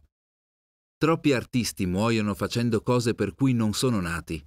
Troppi uomini e donne vivono all'ombra di una vita che non segue quella del loro massimo potenziale. La tua vita non è quella che la società ti impone, ma quella che scegli giorno dopo giorno, seguendo te stesso. Fermati ogni giorno ed esplora i possibili potenziali della tua vita. Non aver paura di chiedere di più da te stesso e dalla tua vita. Se sei nato fabbro perché nasci da una famiglia di fabbri, puoi diventare qualsiasi altra cosa tu senta profondamente di diventare, a dispetto della tua momentanea realtà. Unica regola è ascoltare i tuoi sensi interiori e quello che ti comunicano. Le emozioni possiedono ragioni che la ragione non conosce. Abbi il coraggio di prestargli orecchio e di seguire i loro sussurri al di là di ciò che la società vuole farti credere come giusto, convenevole o di successo. Il primo vero successo è quello di seguire se stessi. Tutto il resto ti verrà dato come conseguenza, se lo vorrai veramente e con la giusta intenzione. Seguirai te stesso imparando ad ascoltare e a seguire il tuo sistema di guida interiore come per l'apprendimento di un nuovo sport o di una nuova professione, con la pratica e la dovuta attenzione, i margini di errore di valutazione diverranno sempre di meno, portandoti alla piena maestria di nuove abilità e capacità di percezione verso una vita più piena, ricca e maestosa. Questa è la strada verso il tuo innato potere interiore e pieno potenziale. Abbi coraggio di seguire la tua visione. Fermati ogni giorno ed esplora i possibili potenziali della tua vita. Esercita la tua intenzione. L'intenzione è il primo strumento della creazione consapevole. Per mezzo di essa è possibile spostare e muovere eventi, circostanze e portare nella nostra vita la magia della sincronicità, ovvero fare in modo che la vita diventi un'orchestra accordata al nostro là.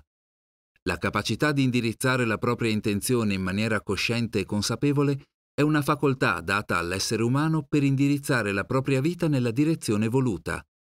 Una volta che si inizia ad incanalare la propria intenzione, si vedranno cambiamenti sorprendenti nel processo apparentemente casuale delle cose e degli eventi, in quanto si influisce volontariamente nel campo delle possibilità. L'intenzione è un processo attivo e mai passivo, di inclusione, e mai di esclusione. Per comprendere il concetto, basti pensare ad essa come ad un fascio di luce che noi proiettiamo in una vasta, immensa stanza in penombra, che rappresenta l'universo della pura potenzialità della manifestazione, dove esistono già, allo stato potenziale, tutti gli eventi, le possibilità, le sensazioni, le emozioni e gli oggetti materiali di un vasto potenziale di combinazioni che aspettano solo di essere scelte, di essere accese.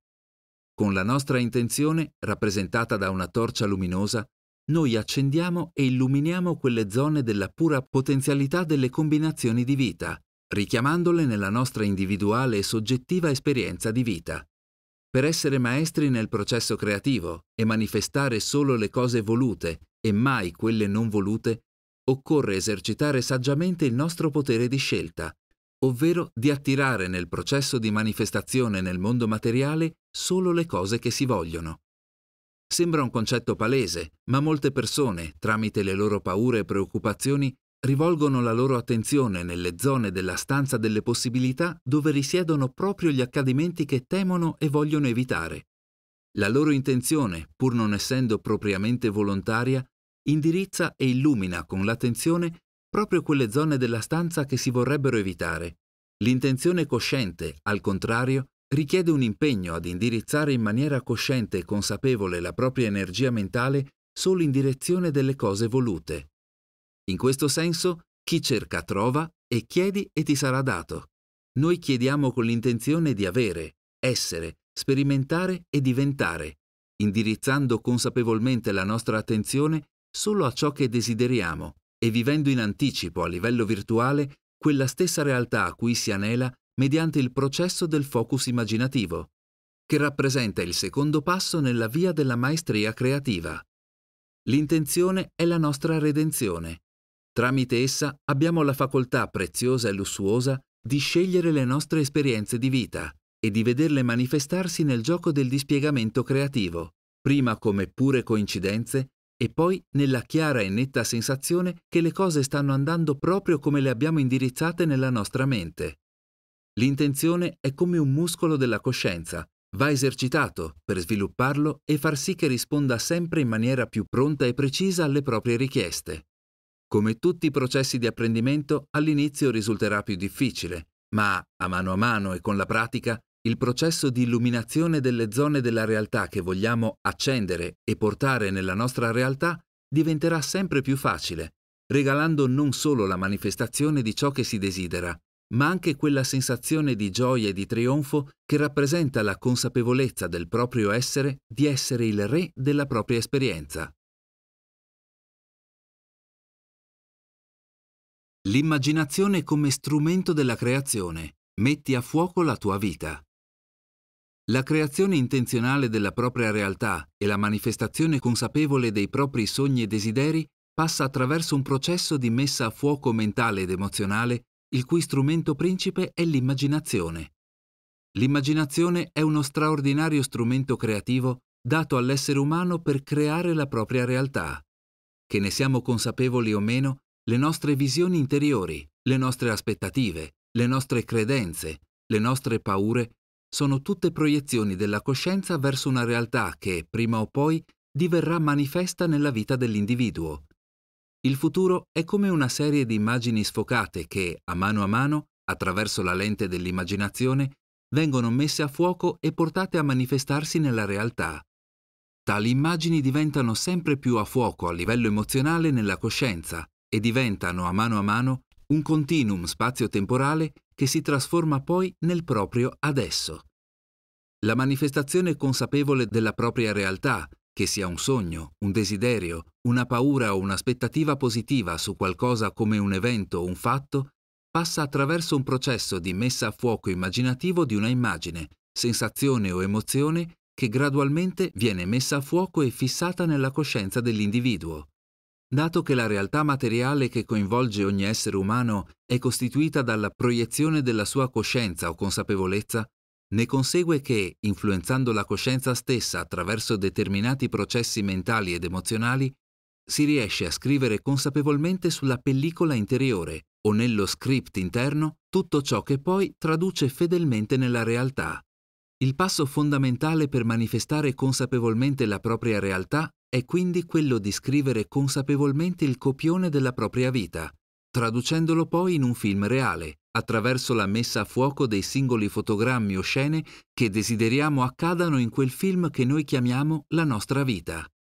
Dal momento che ognuno crea in ogni momento ed in ogni istante della propria vita, attraverso le proprie immagini mentali, che ne sia consapevole o meno, il primo passo per creare è quello di mettere consapevolmente all'opera quello straordinario e potente dono che ogni essere umano ha a disposizione, ma che ben pochi sanno utilizzare a proprio favore e a proprio beneficio, la propria immaginazione, ovvero la capacità di mettere a fuoco le scene del proprio film, della propria vita.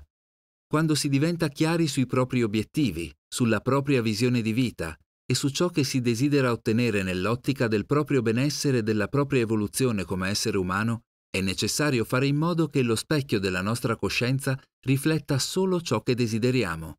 Ciò richiede dapprima uno spostamento del punto focale della propria immaginazione solo su ciò che desideriamo ottenere, lasciando da parte eventuali paure o dubbi.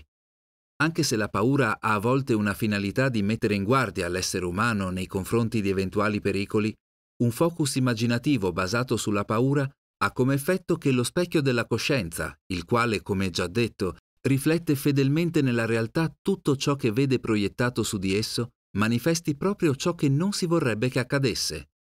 Al contrario, un focus immaginativo sulle immagini e sulle sensazioni di ciò che si desidera realizzare e manifestare farà in modo che si vedano poi riflessi nella realtà le immagini, le sfumature, i colori ed i contesti delle scene mentali visualizzate e messe a fuoco attraverso un processo di focus defocus mentale ed emozionale, anche detto focus defocus immaginativo. L'immagine dapprima sfocata del proprio futuro verrà con il tempo messa a fuoco sempre di più nella propria coscienza e di conseguenza seguirà un processo di manifestazione nella vita reale dell'individuo. In questo senso, la vita è dapprima un sogno sfocato, che poi, consciamente o inconsciamente, viene portato in vita nella realtà manifesta.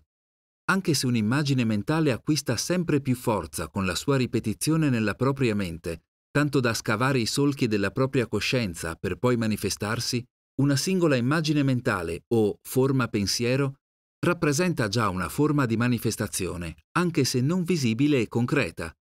L'immagine mentale è come un seme che nel grembo di una donna cresce e si sviluppa giorno dopo giorno fino alla nascita della creatura che rappresenta la sua manifestazione nel mondo reale. La creatura esisteva fin dal concepimento e continuava a svilupparsi nel grembo materno.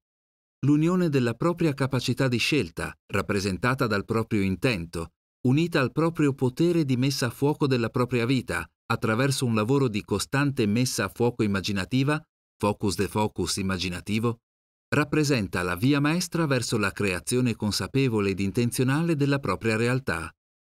Colui che crea in maniera inconsapevole lo fa spesso a zigzag, procedendo a tentoni ed essendo spesso ostacolato da un focus mal diretto, per esempio sulle proprie paure, sui propri dubbi e su ciò che non si vuole. Al contrario, chi crea in maniera consapevole e seguendo certe regole della coscienza, lo fa in maniera diretta e per la via più breve. Per questo motivo, una volta conosciute le regole di questo gioco chiamato vita, spesso si assiste ad una vera e propria rinascita dell'individuo, che finalmente e con un senso di gioia ineffabile nell'animo si avvia a diventare l'artista, l'attore ed il regista di un potenziale capolavoro che è rappresentato dal film della propria vita. La vita diventa quindi gioia, libertà, realizzazione verso fini che solo la propria immaginazione può limitare. La realtà fisica come specchio. La realtà fisica è un riflesso di fenomeni e principi metafisici. È come la differenza che c'è tra un cubetto di ghiaccio, la realtà fisica, il corrispettivo di acqua e il vapore, il pensiero che sottende alla manifestazione. La sostanza di base è uguale, ma la sua forma dipende dallo stato di manifestazione in cui si trova al momento. Per questo motivo è utile utilizzare immagini del mondo materiale per comprendere come funziona il mondo immateriale dei pensieri e della creazione mediante essi. Tra queste immagini ci sono quelle del tirare con l'arco e de il sole, la lente e il fuoco. Creare è come tirare con l'arco. Il processo di tirare con un arco e colpire il bersaglio con la freccia è un perfetto esempio materiale del principio che sottende il centrare un bersaglio immateriale, ovvero il raggiungere un obiettivo mediante il processo di creazione intenzionale. Ciò di cui ha bisogno l'arciere, ovvero la persona che vuole raggiungere un obiettivo, è di prendere un arco, attivando qui la sua intenzione. La freccia rappresenta il desiderio di cui si vuole fare esperienza. L'atto di tendere l'arco è l'atto consapevole di mettere a fuoco, a livello immaginativo, il desiderio già raggiunto e vissuto in prima persona e nelle sue varie componenti a livello mentale ed emozionale. Va sottolineato che un pensiero che non susciti emozioni ha una forza quasi nulla di creare il corrispettivo nella realtà. È come tirare con un arco con una corda lenta e poco tesa. Il risultato sarà che la freccia, il nostro desiderio, non avrà la forza, la spinta necessaria per attivare il processo di manifestazione materiale. Per questo motivo la componente emotiva ed emozionale è così importante ed è così importante seguire i sentieri del proprio cuore, ovvero delle proprie emozioni più grandi e della visione più vera e intima della propria anima. Il punto fondamentale su cui molti falliscono, pagando il prezzo di un mancato raggiungimento dell'obiettivo o di un ritardo nel suo conseguimento, è il fatto che danno eccessiva importanza al risultato stesso, per cui invece di rilasciare la corda del focus, la accompagnano, togliendo forza all'atto creativo. Una volta immaginato il fine raggiunto mediante una focalizzazione immaginativa mirata, focus immaginativo, occorre lasciare letteralmente la presa sul processo, defocus immaginativo, come si fa lanciando la corda di un arco dopo averlo teso e aver preso la mira. Il resto sarà un processo automatico. La corda dell'intenzione e dell'emozione mirata e vissuta come evento già esistente, anche se per ora solo a livello virtuale, lascerà e permetterà che la manifestazione avvenga da sé, senza alcun controllo in questa fase che è e deve essere a tutti gli effetti passiva. È proprio la fase di rilascio, ovvero di abbandono della presa sul risultato finale, che permette al risultato stesso di accadere. Chi è troppo focalizzato sugli obiettivi spesso sbaglia il centro proprio per un eccesso di focalizzazione attiva, volendo controllare coscientemente e con eccessiva importanza il raggiungimento del risultato. Il punto è questo. Il cerchio si chiude e i risultati si chiudono quando, una volta immaginato il fine raggiunto e averlo gustato e apprezzato a livello immaginativo, si molla la presa, la corda tesa dell'arco e si permette all'arco stesso di rilasciare la sua forza verso il lancio della freccia, desiderio, e verso la sua manifestazione materiale, colpire il centro. Ogni controllo ulteriore sulla fase finale di abbandono dell'intenzione e dello sforzo cosciente al raggiungimento del risultato non fa che interferire sullo stesso processo. A volte basta mollare la presa disperata del controllo, la bramosia del risultato, che si vedono apparire nella propria realtà messaggi sincronici che ci mostrano un assaggio di ciò che desideriamo. Questi messaggi sono di grande valore, in quanto, se siamo pronti a coglierli, ci dicono che il nostro approccio alla creazione intenzionale è equilibrato e quindi efficace. Intenzione abbandono, focus defocus, tensione rilascio, voglio permetto che accada con serenità e fiducia nel processo. La sensazione di avere potere creativo sulla propria realtà è esilarante. Non ci si sente più una barchetta di carta nel mare degli eventi, ma parte integrante di un universo armonico che rispetta e onora le nostre scelte creative se solo glielo permettiamo con il nostro atteggiamento di serena aspettativa. Il processo creativo, il sole, la lente e il fuoco. Tutti da piccoli abbiamo giocato con una lente di ingrandimento, con la quale davamo fuoco ad un pezzo di carta grazie al potere concentrato e focalizzato dei raggi del sole. Il processo di manifestazione dei desideri funziona nella stessa maniera. Come già premesso, la realtà fisica rispecchia una realtà di ordine superiore, una realtà sottile, come se fosse il suo riflesso invisibile. Utilizzando l'immagine della lente di ingrandimento che brucia un foglio, sarà facile capire il funzionamento del focus creativo mentale ed emozionale. Nella realtà metafisica, il Sole rappresenta la nostra intenzione, la cui intensità ha una grande importanza nel suo stesso potere di bruciare la carta sotto alla lente. Se il sole è velato da nuvole o da nubi, incertezze e dubbi, la sua forza non sarà sufficiente a completare il processo di manifestazione. La lente d'ingrandimento rappresenta il potente strumento che è sempre a nostra disposizione, l'immaginazione, ovvero la nostra capacità di focalizzare e convergere i nostri pensieri e le nostre emozioni sulla sensazione del desiderio già realizzato. La carta rappresenta la tela della realtà sulla quale noi abbiamo il potere di incidere e di scrivere attraverso i nostri pensieri e le nostre emozioni focalizzate. È importante sottolineare che parole e pensieri vuoti, ovvero frasi ripetute senza un sentimento ed emozione, quindi senza una forza sottostante, non hanno in sé un potere tale da riuscire a far bruciare la carta e quindi di portare nella realtà ciò che è stato visualizzato con il focus. La distanza della lente dal foglio di carta rappresenta invece l'intensità del desiderio che si differenzia dal sole, potere di intenzione, in quanto si può avere un forte desiderio di essere, fare o avere qualcosa, ma si può non avere l'intenzione necessaria ad imprimere forza al desiderio stesso. In quel caso sarà come essere in barca a vela ed avere il desiderio di andare in una direzione, ma nello stesso tempo senza avere il vento di una reale e forte intenzione che spinga le vele verso il compimento del desiderio stesso. Oppure, per rendere ancora meglio l'idea, come voler dimagrire stando tutto il giorno su un divano a vedere la tv e ingurgitando patatine fritte e birra.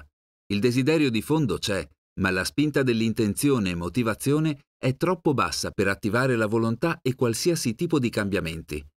Il processo creativo è un processo semplice, ma che necessita di tutti gli ingredienti giusti e dei suoi tempi di cottura. Defocus immaginativo come aspettativa serena e distacco dal risultato. Importanza di modulare il desiderio per permettere la sua manifestazione. Questo rappresenta un punto chiave del processo creativo ed è di importanza fondamentale per permettere che il desiderio si manifesti nella realtà. La ripetizione di questo concetto è basilare, in quanto è il momento meno compreso dell'intero processo creativo e rappresenta la sua chiave di volta e di svolta. Come è stato detto, le condizioni che consentono al processo creativo di manifestare un desiderio visione sono intenzione di raggiungerlo, intensità dei raggi solari, focus immaginativo, lente di ingrandimento, defocus immaginativo, aspettativa serena e senza attaccamento al risultato. Ma come si può inquadrare l'importanza del desiderio in questo processo? Qual è la sua rilevanza? Che importanza ha la sua intensità? Questo è un punto fondamentale, la chiave di volta nel processo creativo. Senza la sua comprensione si rischia di vanificare il compimento del processo stesso.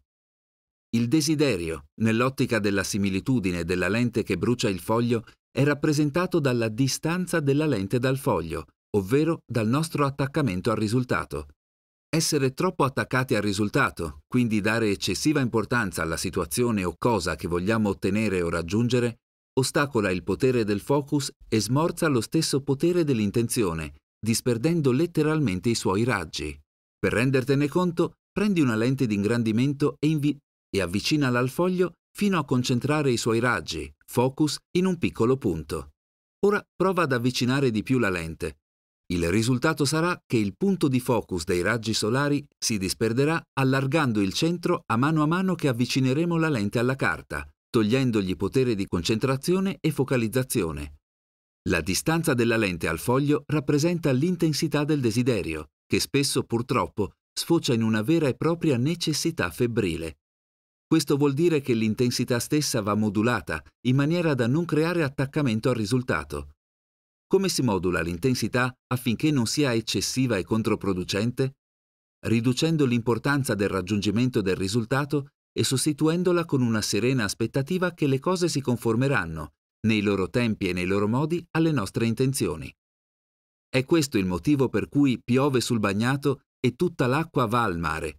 I soldi vanno sempre al ricco, che diventerà sempre più ricco.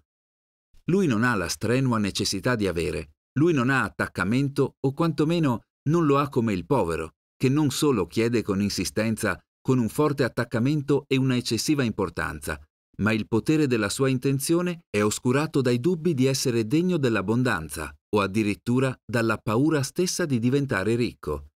Se pensi che ciò non sia il tuo caso, almeno senti e riconosci intorno a te quante persone in fondo a se stesse si negano le cose dicendo dentro di loro questo non è per me, non me lo posso permettere. Questo non è un invito a spendere ciò che non si ha o a possedere cose che al momento non ci si può permettere, ma un invito a allargare i propri orizzonti interiori verso un mondo di abbondanza e di realizzazione.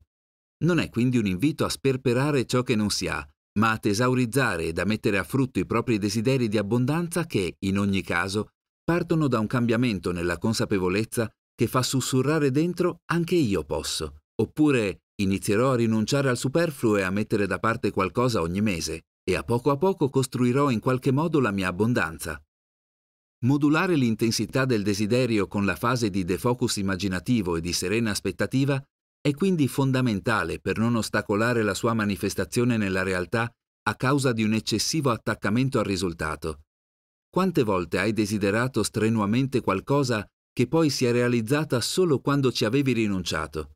L'attaccamento strenuo a far accadere, al focalizzare con il cronometro in mano e con i denti stretti, porta lontano dalla realizzazione del desiderio. I desideri sono come piccioni viaggiatori verso la loro meta. Quando non vedremo più all'orizzonte il piccione con il nostro desiderio, dovremo avere fiducia che starà dirigendosi verso il suo compimento e che non avrà virato da un'altra parte una volta lontano dalla nostra vista. Qui entra in gioco la fede, che non è fede religiosa, ma fede nel processo creativo ed espansivo su cui si basa l'universo stesso. Ridimensionando l'importanza del desiderio, il sogno ci verrà incontro, seguendo i suoi tempi di manifestazione. Sarà necessario avere fiducia che qualcosa nell'universo si stia muovendo in nostro favore. Controllare eccessivamente eventuali segni dell'universo non sarà che una dimostrazione di dubbio e di paura.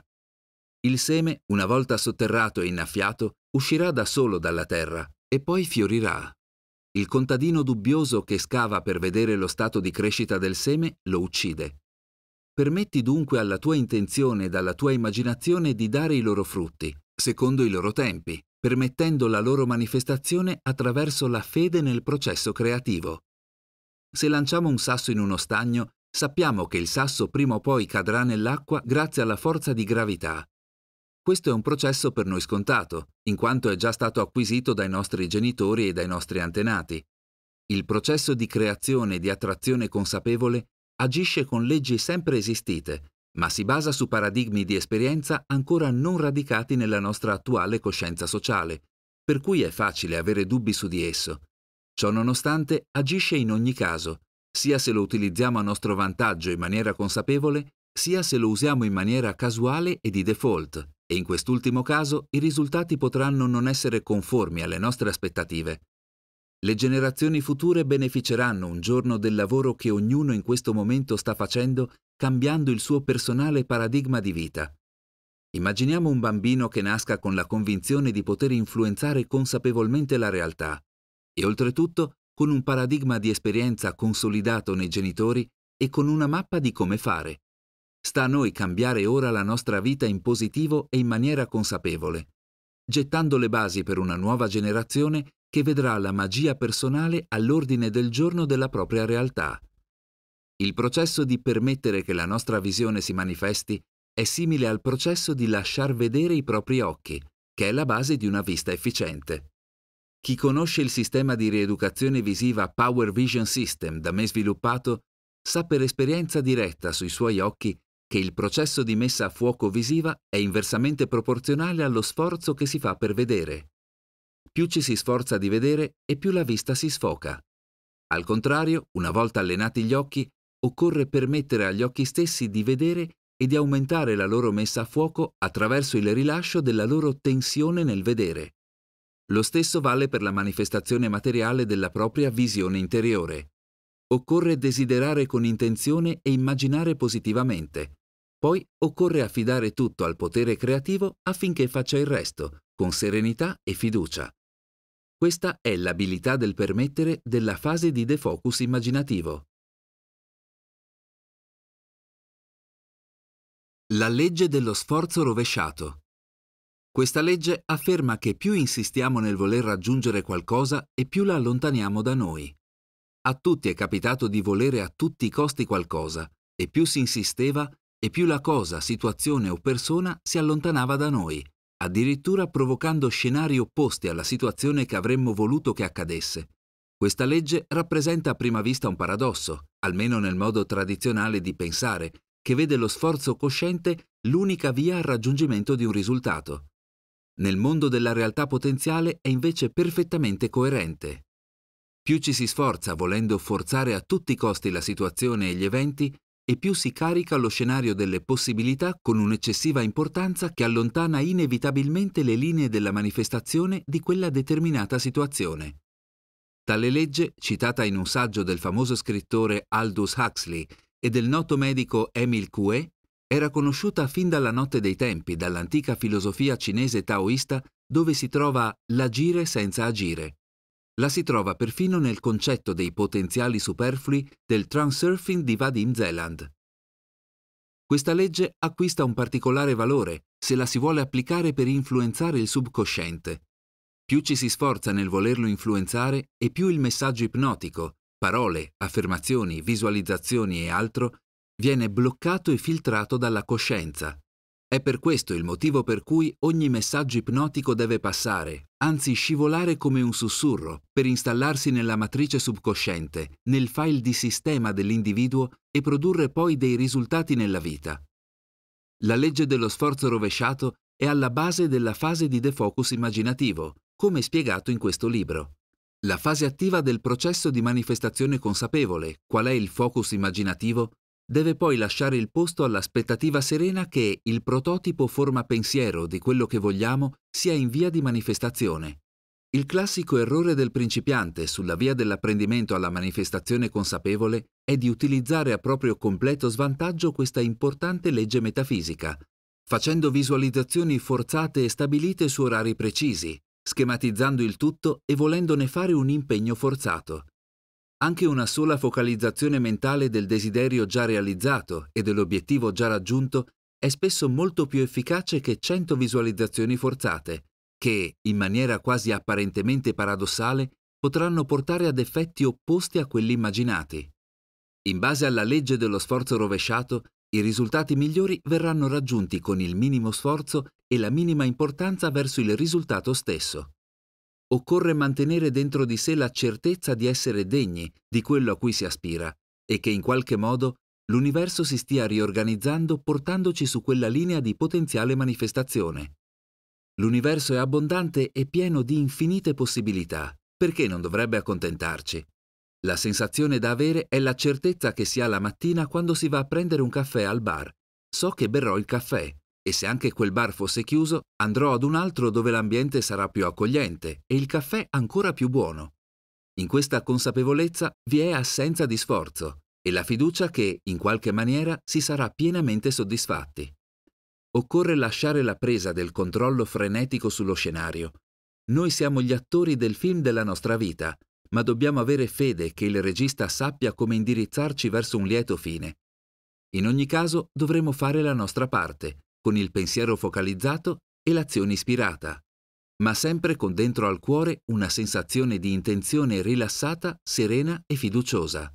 È a quel punto di rara maestria che vedremo accadere miracoli nella nostra vita. Differenza tra desiderio sereno e bramosia di risultato. Più brami qualcosa e più la cosa che desideri strenuamente si allontana da te, in quanto dai troppa importanza al risultato ed eventualmente crei uno sforzo eccessivo che non ti permette di scivolare nella variante potenziale di realtà a cui aspiri. Desiderare con il cuore significa apprezzare quella condizione, senza sforzo e con animo sincero e sereno. Soluzione assapora il risultato raggiunto nella tua immaginazione distaccandoti dal risultato. Fai in modo che sia un gioco della coscienza, un tuo modo personale per giocare con quel determinato settore della realtà che per ora esiste solo a livello potenziale. Non immaginare con l'intenzione precisa di creare, ma per vivere e assaporare quell'esperienza. Avvicinati con animo giocoso, sereno e senza secondi fini all'esperienza. Ogni sforzo è nemico della creazione intenzionale. Quando accendi un interruttore della luce non pensi se funzionerà o meno. Oltretutto usi il giusto impegno muscolare, né più né meno, senza sforzo. Spingi semplicemente il dito facendolo scattare. Allo stesso modo, quando sei al ristorante e ordini una macedonia, non ti chiedi se il cameriere, invece di andare in cucina e dirlo al cuoco, se ne va a spasso da qualche altra parte, non ti chiedi poi se il cuoco sia capace di prepararla o se il ristorante sia o meno sprovvisto della frutta necessaria. Lo chiedi e basta, e sai e ti aspetti che prima o poi il cameriere te la porti in tavola. La stessa cosa vale per la creazione intenzionale. Chiedi immaginando, mai bramando, e lasci che l'universo trovi il modo e i tempi per consegnarti quanto hai chiesto. Chiedi con l'immaginazione, focus, e attrai con l'abbandono dei risultati e con un'aspettativa serena, defocus. Chiedere senza sforzo e bramosia significa quindi gioire mentre si immagina la potenzialità di ciò che ci piacerebbe vivere. Mai soffrire. Se si soffre si sta rivolgendo l'attenzione sulle difficoltà invece che sulla gioia stessa dell'immaginare.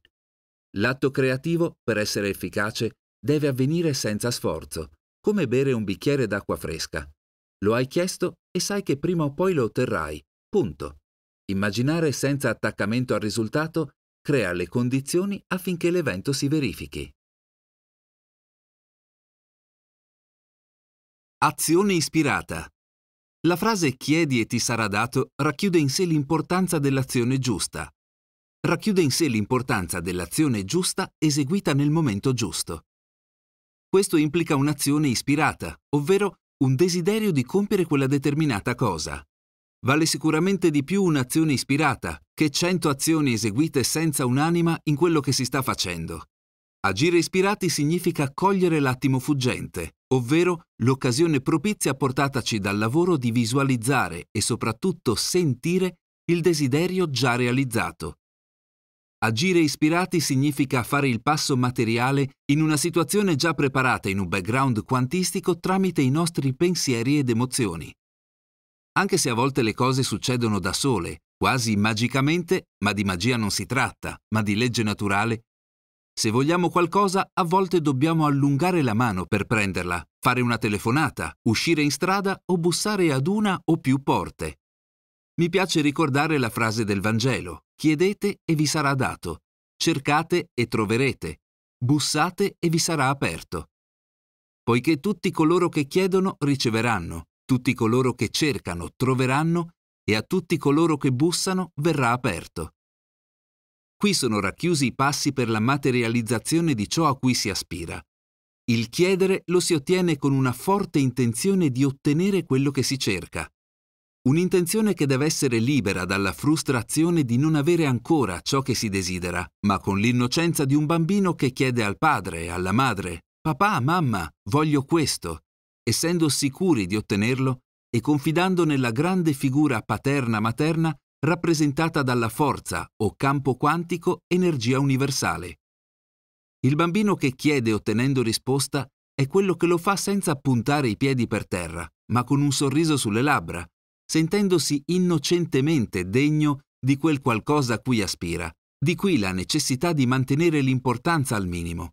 Il cercate e troverete include il visualizzare la potenzialità che si desidera che accada come la vogliamo.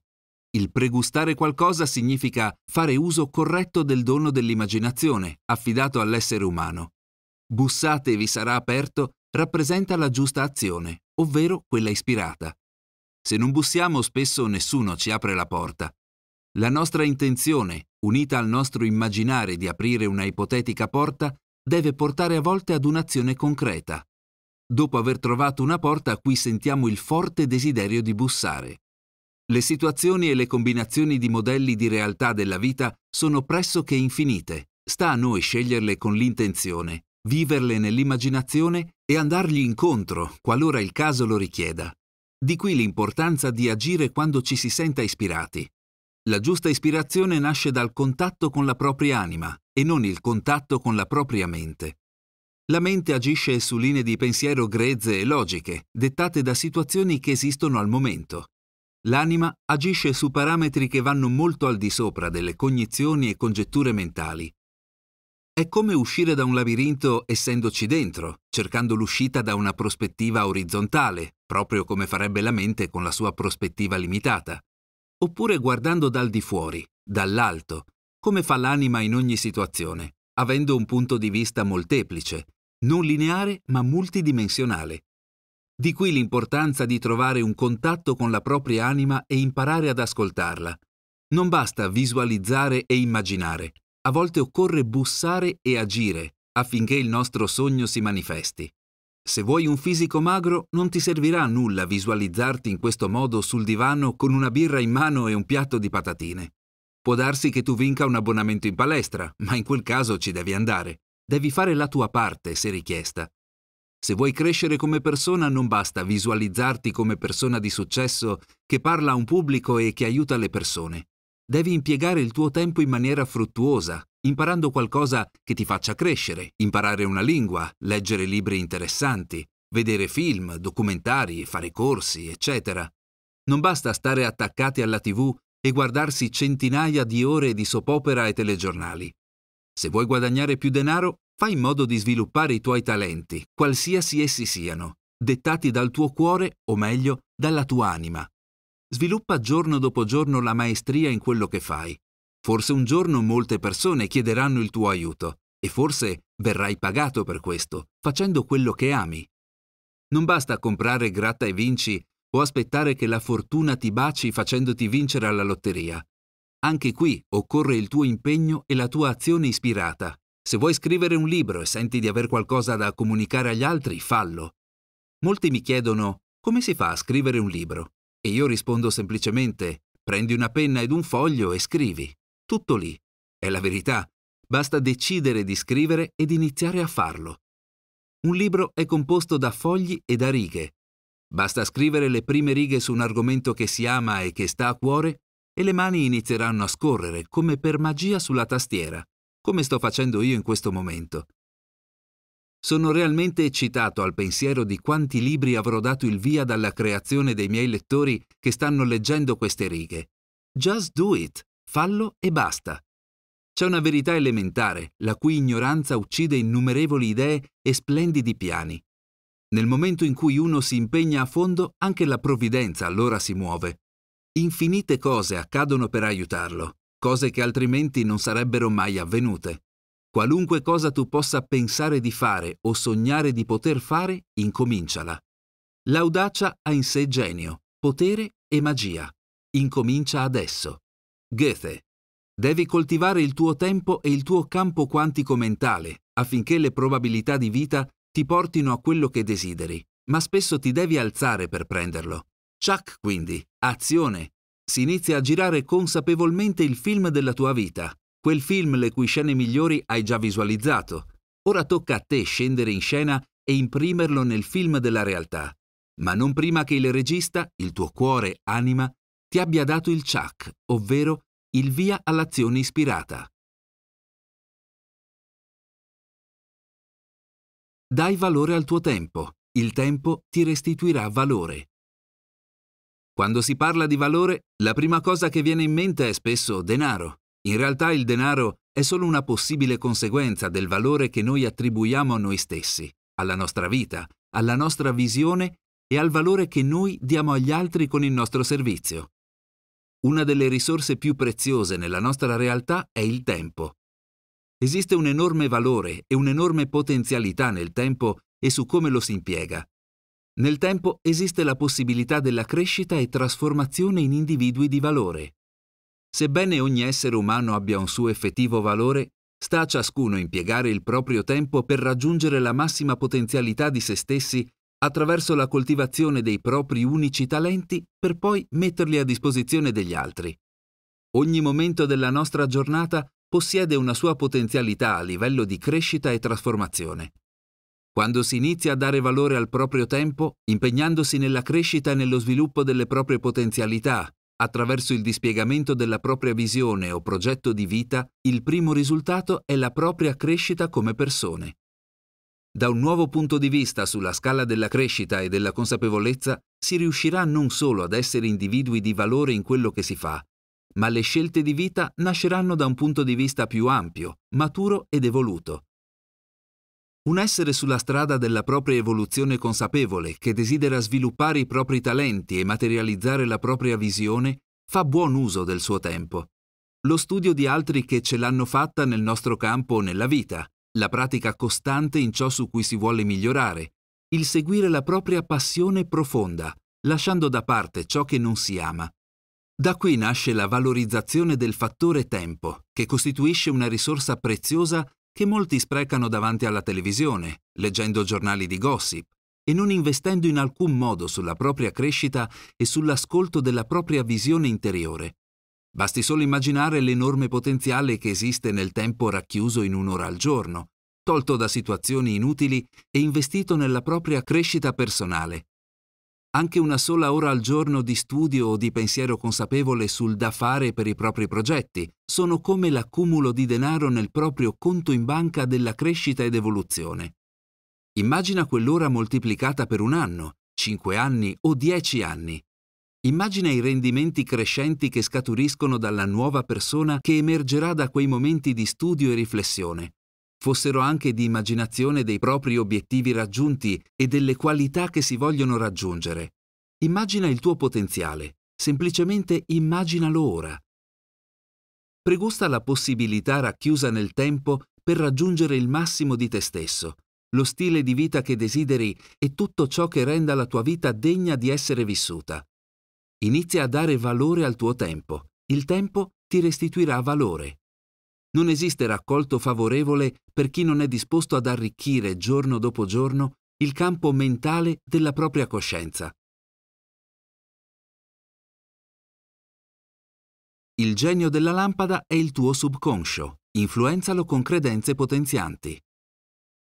Immagina due persone identiche, sia nell'aspetto fisico che nella posizione finanziaria e nella situazione attuale di vita. Come potrebbero essere due gemelli nati nella stessa famiglia. L'unica differenza che li distingue sono la loro differente visione di vita, le loro credenze, ovvero il campo di possibilità che ritengono come possibili o impossibili da mettere in pratica nella loro esistenza. Un gemello crede che la vita sia sforzo, ingiustizia e mancanza di risorse, dove solo i ricchi vanno avanti, mentre tutti gli altri sono costretti a rimanere al palo, in attesa che forse un giorno le cose si sistemino grazie a contributi e concessioni statali, o peggio, grazie alla questua dei gratta e vinci o di una ipotetica lotteria. L'altro gemello, al contrario, pur essendo identico in tutto, la pensa in maniera profondamente differente.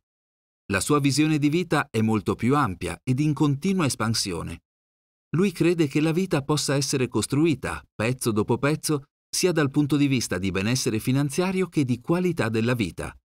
Lui sa che uno dei beni più preziosi è il tempo, ovvero la preziosa libertà di scelta su come, dove e con chi utilizzarlo e spenderlo.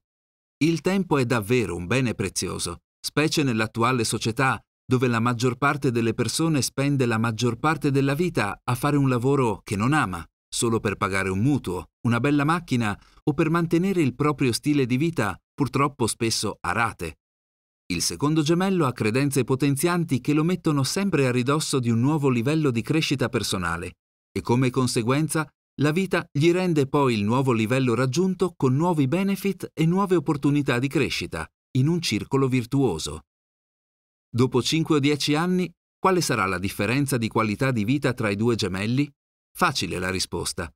Uno continuerà a leggere disperato il giornale fissando la propria attenzione sulle limitazioni sociali, le ingiustizie di massa, imprecando contro il politico corrotto di turno. L'altro avrà costruito e capitalizzato i suoi talenti, mettendoli a frutto a beneficio degli altri, apportando benessere e qualità in qualche campo specifico, ricavandone i conseguenti benefici sia economici che di realizzazione personale. Ma dov'è racchiuso il segreto, la chiave segreta che ha generato la differenza tra i due? La chiave è la propria visione di vita, ovvero tutto quello strato di credenze su ciò che sia possibile o meno nella propria esistenza.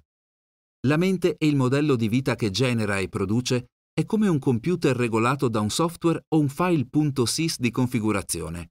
Cambiate poche fondamentali righe di programmazione del software e del file di configurazione, rimuovendo e risolvendo eventuali bug del sistema, e il sistema stesso si muoverà in maniera più veloce, efficiente e produttiva.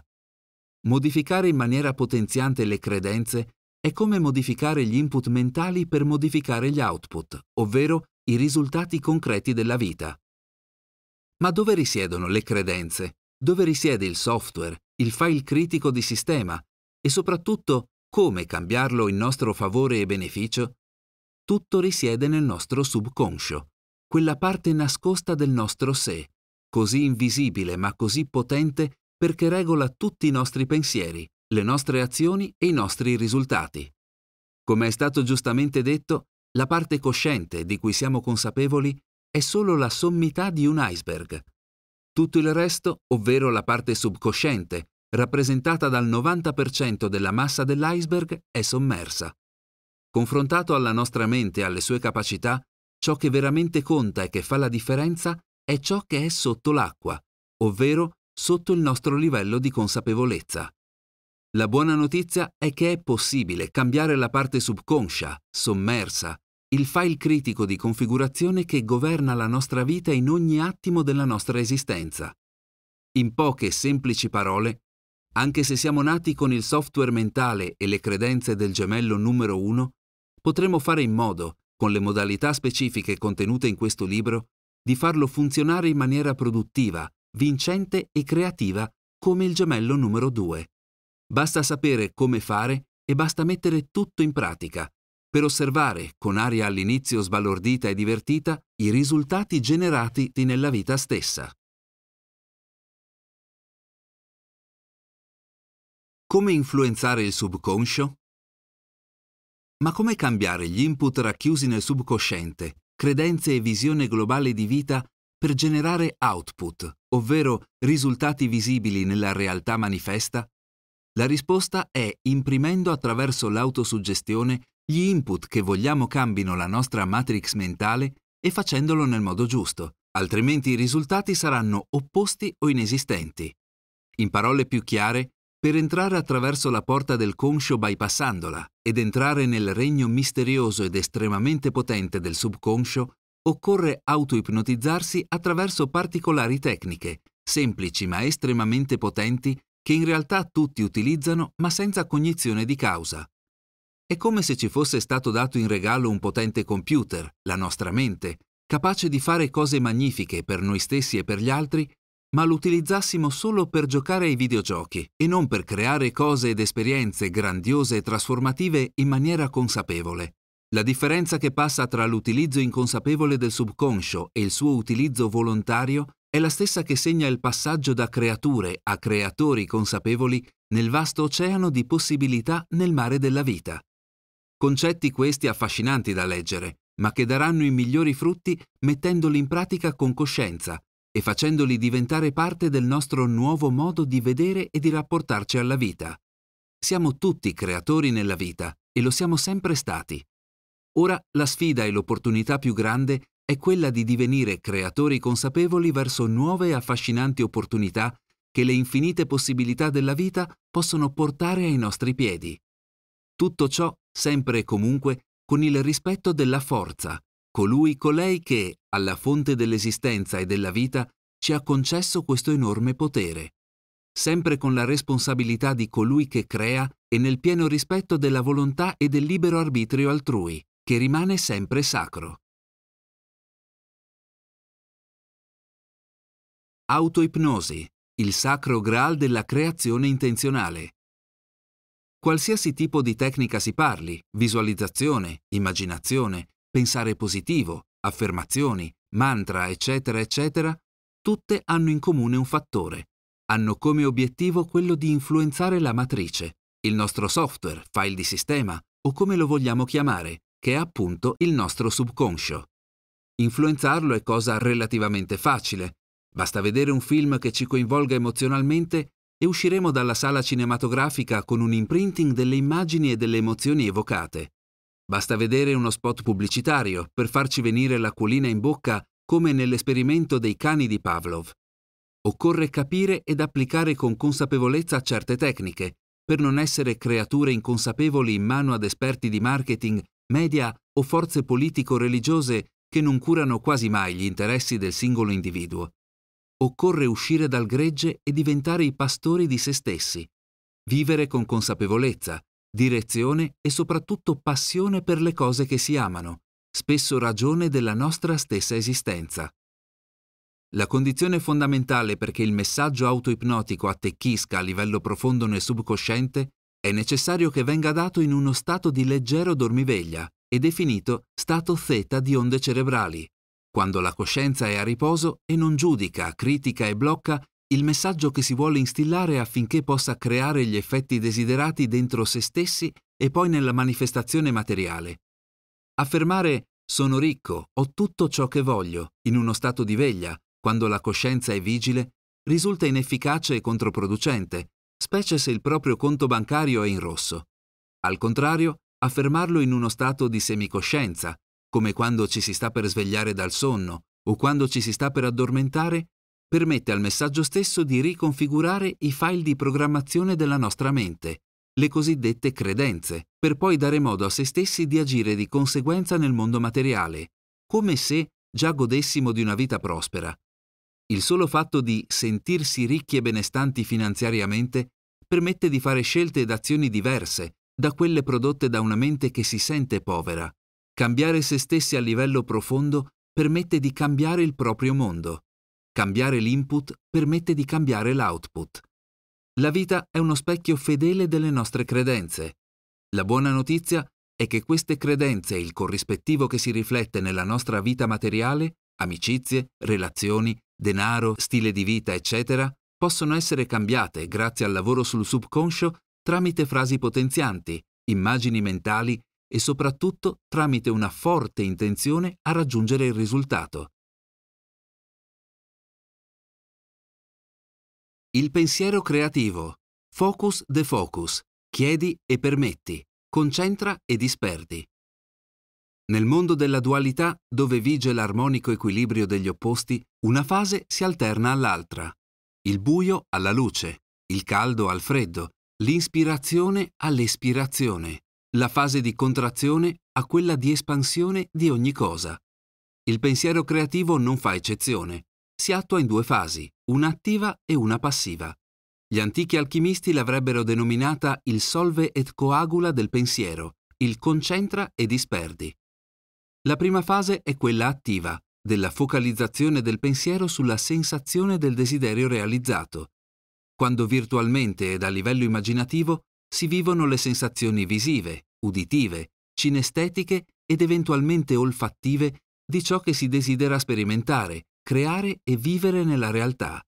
Questa richiede una concentrazione attiva del pensiero e potremmo chiamarla la fase yang maschile del processo creativo, facendo riferimento al simbolo del Tao come appunto alternanza armonica di opposti.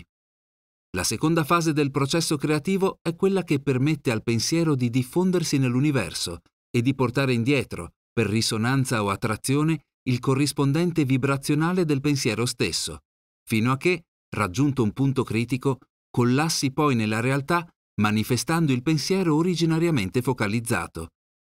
Questa può essere definita, per una migliore comprensione, come la fase ing femminile della materializzazione del pensiero.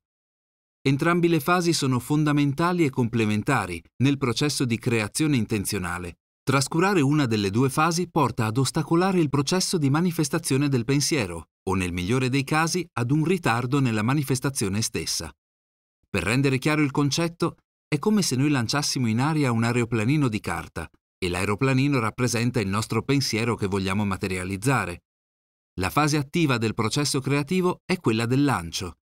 Una volta data la spinta al processo, quello che dobbiamo fare è dare fiducia all'aeroplanino, il nostro pensiero focalizzato, che una volta staccatosi dalla mano volerà e giungerà a destinazione manifestandosi nella realtà.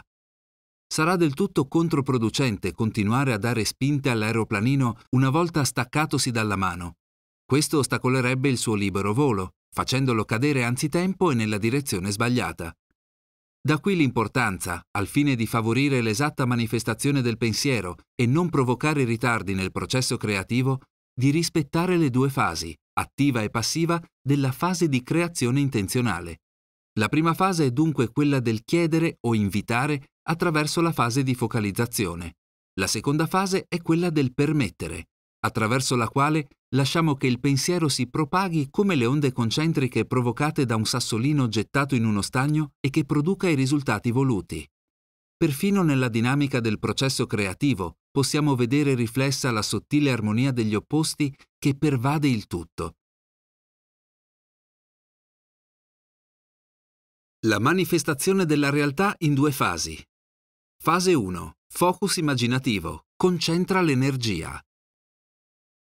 Mettere a fuoco la propria vita significa scegliere consapevolmente cosa si vuole essere, fare ed avere in quel caleidoscopio che sono le esperienze di vita. Ognuno deve ascoltare profondamente se stesso e decidere cosa vuole, e poi fare in modo che i profondi desideri si manifestino nella realtà.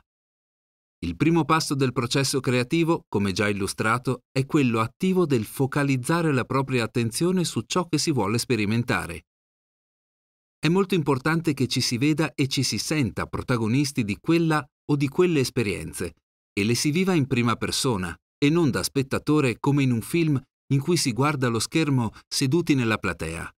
La capacità di manifestare che risiede in ogni individuo crea fedelmente ciò che gli proiettiamo sullo schermo dell'immaginazione. È necessario vivere dentro l'immagine, toccare, accarezzare, ascoltare e vedere con gli occhi del protagonista della scena.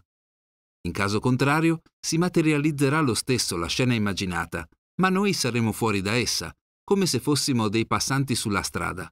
Questo processo può essere chiamato focus mentale o immaginativo, in quanto si mettono a fuoco sullo schermo della propria coscienza le immagini, le emozioni le sensazioni visive, uditive, cinestetiche ed eventualmente olfattive di ciò che si vuole vivere e sperimentare realmente. Tale processo di messa a fuoco della coscienza porterà con la ripetizione a rendere parte del proprio vissuto immaginativo il tipo di vita e di esperienza immaginata, facendo vibrare entro se stessi il tipo di emozioni che si produrrebbero se si stesse effettivamente vivendo il tutto nella vita reale. L'universo, per risonanza o attrazione, farà il resto, rispecchiando nella realtà ciò che è stato ripetutamente vissuto virtualmente a livello immaginativo. Lo farà attivando il processo della sincronicità degli eventi, che altro non è che una prima manifestazione del processo creativo. Con un po' di attenzione si presenteranno cose, circostanze e persone che avranno a che fare con il vissuto immaginativo e in quel momento si avrà la chiara percezione di aver messo in moto qualcosa di magico nell'universo, che altro non è che il proprio potere di manifestare in maniera consapevole. Per magia intendo qualcosa che va al di fuori dell'ordinario e che è in grado di portare stupore nella propria vita. Non ha nulla a che vedere con il classico concetto di magia. La vera magia è quella di riuscire a manipolare consapevolmente la nostra realtà per il bene individuale e collettivo. Non servono ingredienti esterni, l'essere umano ha già tutto ciò che occorre. Gli occorrono solo la scelta di mettere in moto il suo focus mentale su ciò che la propria anima vuole e di proiettare mediante il corretto uso dell'immaginazione i trailer del film della propria vita. Il processo di immaginazione deve comunque rispecchiare un desiderio profondo dell'individuo, in modo da provocare emozioni che poi riverberino nell'universo affinché poi porti indietro la realizzazione della richiesta, ovvero del proprio vissuto immaginativo. Una richiesta senza cuore, ovvero senza dietro una forza emozionale, ha ben poca capacità creativa. Ma questo è solo il primo passo del processo creativo.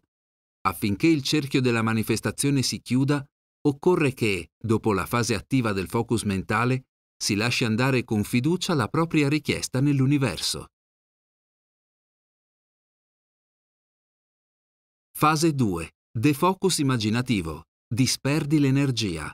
Abbandono da ogni bramosia di risultato. Fase di serena aspettativa. Questa seconda fase è una fase fondamentalmente passiva del processo di creazione. Richiede una sorta di abbandono alla corrente. Richiede nell'individuo che abbia portato a termine la creazione di modelli virtuali di realtà attraverso il focus mentale e immaginativo, la convinzione che il processo sia in moto e che porterà i suoi frutti. Questo tipo di attesa deve essere serena e fiduciosa. Come ho detto in un capitolo precedente, se lanciamo un aeroplano di carta in aria, ci aspettiamo che per almeno un tratto voli, quindi, una volta lanciato, non lo continueremo a spingere con la mano. La stessa cosa deve essere per la fase di defocus immaginativo. Una volta attivato correttamente in maniera ripetuta, sapremo che a livello quantistico avremo attivato una richiesta che è già alla ricerca di una risposta nella realtà. Il processo di risonanza e attrazione è quello che proverebbe un contadino dopo aver seminato. Lui non va a scavare continuamente sotto la terra dove ha piantato il seme per vedere se sta iniziando a germogliare, ma aspetta fiducioso che il seme esca da un giorno all'altro dalla terra e che poi un giorno fiorisca dando i suoi frutti. Chiaramente, nel caso della creazione intenzionale, occorrerà fare la propria parte, se richiesta dalle circostanze. Se il nostro desiderio era quello di ricevere qualcosa, occorrerà in alcuni casi allungare la mano per prenderlo, qualora si presenti un'occasione portataci dalla sincronicità. Anche se sono contrario alle lotterie che rappresentano la disfatta del proprio potere creativo di masse di individui che non hanno alcun tipo di iniziativa e di potere sulla propria vita, ma solo con il fine di rendere chiaro il concetto di qui sopra, se voglio vincere alla lotteria dovrò almeno comprare un biglietto e non aspettare che mi venga regalato. In questo senso si deve anche fare la propria parte, se richiesta, ma sempre in modo sereno. Affida dunque la tua fortuna ai tuoi talenti, facendoli germogliare, e poi mettili al servizio del più vasto numero di persone. Questo avrà più valore di una vincita ad una lotteria. Non solo potrà renderti ricco, ma farà di te una persona migliore. Questo secondo processo creativo rimane comunque una fase fondamentalmente passiva, in cui si richiede la serena aspettativa che prima o poi una via verso il risultato voluto da qualche parte apparirà, grazie alle circostanze sincroniche attivate dalla fase attiva del focus mentale immaginativo. A volte la manifestazione avviene nel momento in cui si smette di nuotare contro la corrente e si smette di bussare insistentemente la porta del desiderio. Un classico esempio è quando una coppia è ostinata ad avere figli da tempo e non ci riesce. Spesso è proprio il desiderio eccessivamente carico di importanza verso il risultato che non permette che il desiderio si libri in aria portando poi per risonanza o attrazione il suo risultato. Il provare testardamente è l'opposto del permettere. Arriva un punto in cui la coppia si arrende adottando un bambino e poco dopo la donna rimane magicamente incinta, dopo tanti tentativi andati male. In questo caso proprio la resa ha permesso al proprio desiderio di manifestarsi. Altro caso esemplare è quando si cerca disperatamente un partner. Spesso nessuno appare all'orizzonte, aumentando il senso di frustrazione e di solitudine. Quando si inizia a stare bene con se stessi e la propria richiesta perde la propria drammaticità, trasformandosi da un urlo disperato ad una richiesta gentile, amichevole e con il sorriso sulle labbra, ecco apparire alla soglia della propria vita la persona che si stava aspettando. A volte addirittura se ne presentano due. Chiedi e ti sarà dato, serenamente e senza sforzo. Tutto ciò che occorre è dunque sapere cosa si vuole profondamente viverlo con il focus immaginativo e fare in modo che giunga a noi permettendolo, con la risonanza e l'attrazione, attraverso l'abbandono da ogni bramosia di risultato. A volte la manifestazione avviene nel momento in cui si smette di nuotare contro la corrente e si smette di bussare insistentemente alla porta del desiderio. Pensa e agisci oggi su cosa puoi migliorare adesso. Il tuo futuro si basa sul tuo presente, su tutti gli ora che stai vivendo adesso e si susseguono sulla via del tempo, il tuo tempo. Le basi del domani si fondano sulle fondamenta delle azioni che compirai oggi, in quello straordinario spazio di tempo, ricco di potenzialità che ti regala il momento presente. La vita è come un romanzo che tu riscrivi in ogni momento, con ogni respiro ed ogni sospiro con ogni tuo pensiero ed ogni tua azione. Sta a te fare tesoro di questo momento attuale per creare le basi del tuo glorioso futuro. Metti a frutto ogni pensiero costruttivo, traducendolo in quello che puoi fare oggi, in questo momento, per avvicinarti al tuo sogno, piccolo o grande che sia, ma che comunque sia il tuo sogno e non quello di qualcun altro. Mi guardo intorno e vedo persone che parlano dei loro sogni, ma non spostano una sola virgola della loro vita in quella direzione. Vanno avanti giorno dopo giorno nella speranza che qualcosa cambi. La fortuna esiste, ma aiuta gli audaci.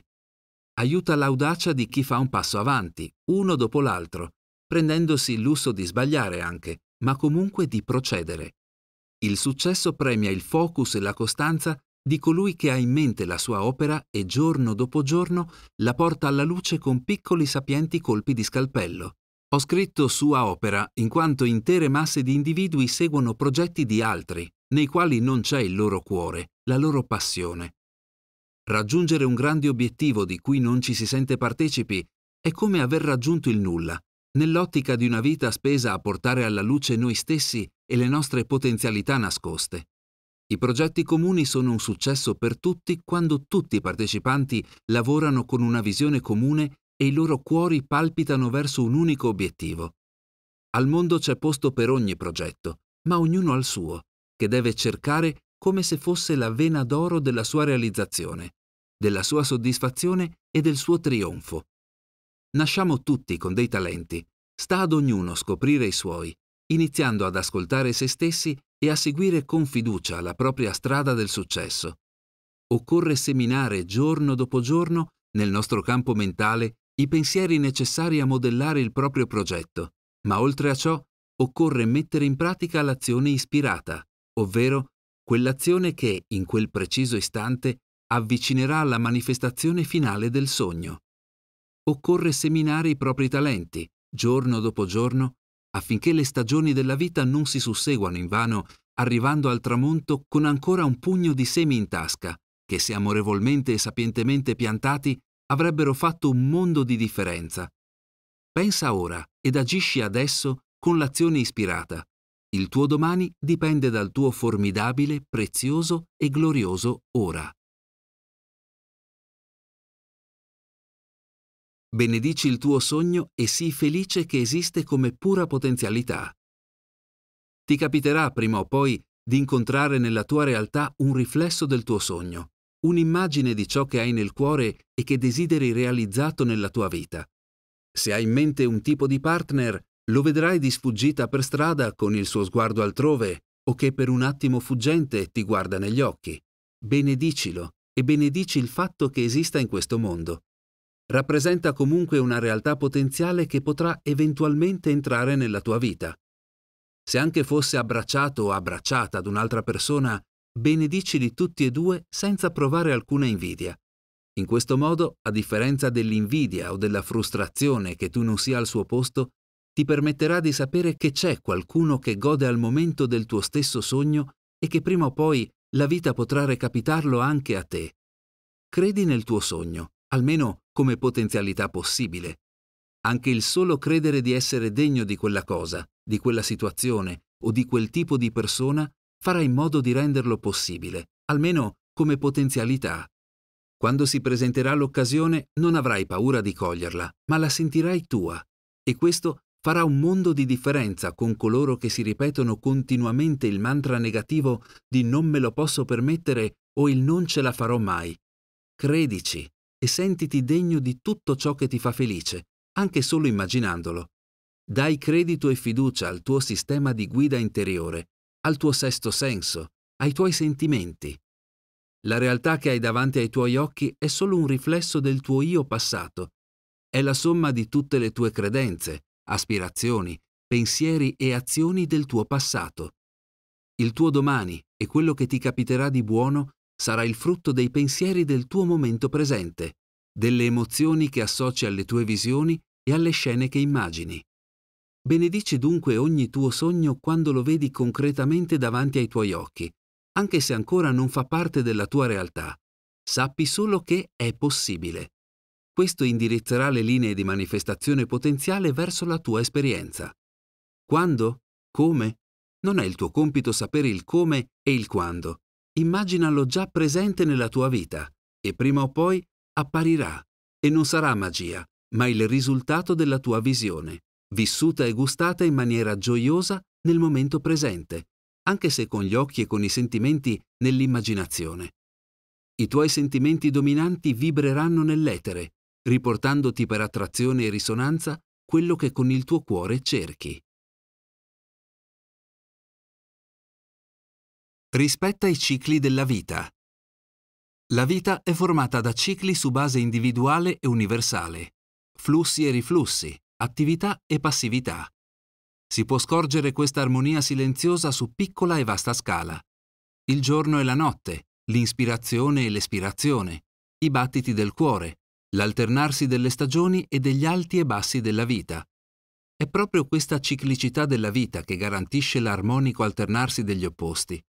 A livello individuale, per mantenere la propria armonia e sintonia con la vita, occorre rispettare il più possibile i propri cicli vitali del sonno-veglia, digiuno-alimentazione, azione e astinenza sessuale, euforia e pausa, Rispettare i propri cicli vitali permette all'individuo di imparare ad ascoltarsi e a rispettarsi. Sebbene nella vita moderna sia a volte difficile, ognuno deve reimparare a ritrovare il contatto con la propria essenza vitale ed i propri ritmi. Fluire con i propri ritmi vitali permette di fluire con il mondo e di sintonizzarsi con la parte più alta di sé. Ogni opera creativa dell'anima, ogni decisione saggia parte da una situazione di serenità ed armonia interiori, dove l'individuo gioisce e si sente parte di un tutto che lo nutre e lo protegge. Rispettare i propri cicli vitali implica un ascolto di se stessi ed il rispetto di quella parte nascosta che ha un proprio ritmo ed una propria musica. Alterare questa armonia significa entrare in conflitto con se stessi e alterare la connessione con la parte più alta di sé, quella parte che tutto vede e tutto sa per il proprio bene e quello del tutto. Vivere meccanicamente sulla base di orari fissi, pasti regolati, sveglie e impegni non desiderati fa parte della comune routine dell'uomo moderno, il quale è trascinato nel vortice della vita come se inseguisse qualcosa che è sempre un po' più in là di dove è lui. Rispettare i propri ritmi di vita implica un rispetto per se stessi e un passo verso il seguire se stessi e la propria visione. Si può iniziare a fare ciò anche nel bel mezzo della vita attuale. Basta lasciare andare il superfluo e abbracciare e valorizzare ciò che veramente si desidera seguire nella vita. Magicamente, facendo ciò e iniziando a seguire se stessi, emergerà a poco a poco la vera parte di sé, quella che spesso è sommersa da impegni, falsi doveri e falsi obiettivi e necessità. Un arco sempre teso non tira più con la forza originaria. Perfino un arco ha una sua saggezza. Scopri la tua ed assecondala. Consideralo come un regalo a te stesso e alla tua capacità di essere nel mondo. Quando inizierai a rispettare te stesso, vibrerai nel tuo mondo in maniera più armonica, perché più consona alla tua natura. Il mondo rifletterà questa tua armonia interiore dandoti spesso ciò che cercavi inutilmente e meccanicamente. Scoprirai la bellezza di cose che da sempre sono state davanti a te, ma erano nascoste da cose futili e spesso superflue. Questa è la filosofia dell'uomo e donna naturali. Semplicemente fallo adesso. La strada e le svolte si mostrano a chi percorre con fiducia il suo percorso. Qualunque progetto tu abbia in mente, inizialo oggi, anche semplicemente facendo una bozza di piano su carta o iniziando a fare alcune telefonate o inviando email a persone che potrebbero aiutarti nel tuo progetto. Anche i progetti più geniali iniziano da una sola iniziativa, da un semplice passo. Nessuno può farlo per te, sei tu che devi dare fiducia a quello che senti dentro di te e che dice che c'è una strada per quello che hai in mente, anzi nel cuore. Il detto aiutati che Dio ti aiuta sta a significare che sei tu che devi iniziare a fare la tua parte sulla strada. Poi potrai sicuramente trovare svolte inaspettate che ti aiuteranno in quello che stai facendo, ma in ogni caso sta a te iniziare il progetto e mettere avanti i primi passi verso la sua realizzazione. Il pericolo che fallisca esiste sempre, ma in quel caso farai comunque tesoro di quell'esperienza e ti servirà per coronare di successo qualche altro tuo progetto. I successi si costruiscono spesso sulle fondamenta dei propri errori passati. È il coraggio che premia gli audaci, ovvero coloro che se ne infischiano di fallire eventualmente, ma che in ogni caso credono in quello che stanno facendo, sia per il proprio bene che per il bene comune. La paura paralizza, L'audacia e il coraggio premiano in qualunque caso, prima o poi. Molte persone vivono nella vita in posizione difensiva, come se vivessero arroccati nella loro postazione di vita senza arrischiarsi mai di investire sia in denaro che in azioni che li portino al di fuori dei loro ristretti confini di vita. Una vita di scoperta, crescita, evoluzione e gioia richiede che l'individuo decida di mettersi in gioco con coraggio e fiducia nella vita.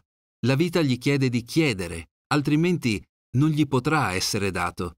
Occorre trovare il coraggio di entrare in campo e di giocare la propria partita, le proprie carte, anche se al momento non le si ha. La fortuna aiuta l'audacia che parte da un forte desiderio, che nasce da una esigenza profonda dell'anima. Non si tratta di essere impulsivi, ma decisi in quello in cui si crede profondamente sempre e comunque nell'ottica di rivedere e aggiornare i propri piani ed obiettivi in base allo sviluppo dei vari scenari, in ogni caso mai tradendo la propria verità interiore. Le grandi conquiste, in tutti i campi, nascono da coloro che, con il bagaglio dei loro sogni e delle loro capacità, anche potenziali, decidono di metterle in gioco avanzando e facendo quello che ritengono più opportuno in vista non solo del loro obiettivo, ma anche della loro gioia profonda. Quando si fa ciò che si ama, lo si fa con la gioia nel cuore, si è innamorati di esso, come in questo momento in cui gioisco dell'opportunità che ho ora, scrivendo queste parole, di trasmetterti la gioia di iniziare quel progetto che hai chiuso nel cuore forse da molto tempo, o di proseguire ciò che hai già iniziato con entusiasmo. La vita ed il successo ti stanno già aspettando su qualche linea del tempo, ma gioisci fin da ora con quello che ti porta entusiasmo e realizzazione. Lascia perdere ciò che senti profondamente come inutile e dai fiducia a quella parte profonda di te che ti parla in termini di entusiasmo e gioia. Abbi il coraggio di seguire te stesso. Pratica, pratica e ancora pratica. La mappa non è il territorio. Ciò che farà avverare i tuoi desideri non sarà il fatto che avrai letto cento volte questo libro e che lo conoscerai a memoria. Non sarà pure il fatto che avrai letto altri 200 libri sull'argomento forza del pensiero, dell'immaginazione e sulla legge dell'attrazione. Ciò che farà di te un creatore consapevole e potente sarà che avrai messo in pratica le lezioni che avrai appreso, sia con la lettura che con la pratica stessa. Ogni volta che indirizzerai consapevolmente la tua intenzione e che eserciterai la tua immaginazione verso scopi specifici, vedrai attorno a te il mondo modificarsi secondo le tue aspettative. Questo ti darà sempre più fiducia ed abilità nelle tue capacità. Quando sarai completamente sazio della lettura, diventerai affamato di risultati creativi. Vorrai assaporare risultati concreti, sia che siano manifestazioni di sincronicità che risultati visibili e tangibili. Al di là di tutto, la sensazione più grande e magnifica l'avrai quando prenderai sempre più coscienza di essere tu stesso il capitano della tua nave sulla rotta della tua vita. Arriverai al punto in cui ispirerai gli altri a seguire la strada della propria maestria. E non c'è maestria più grande del creare e far accadere circostanze, fatti e avvenimenti in maniera consapevole, sia per il proprio benessere che per quello altrui. La nascita di un nuovo essere umano è alle porte. Un essere umano che sa di essere una estensione del potente ed infinito potere creativo che permea ogni cosa nell'universo e fratello di ogni altro essere vivente. Che il potere creativo sia chiamato Dio, potere cosmico o come si voglia, non ha importanza.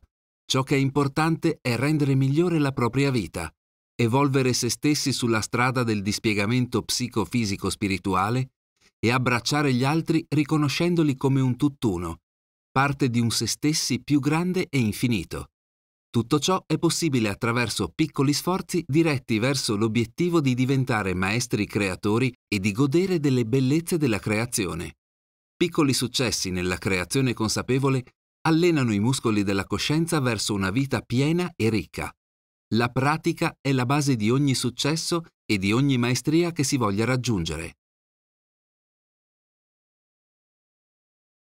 Verso la nascita dell'essere umano multidimensionale.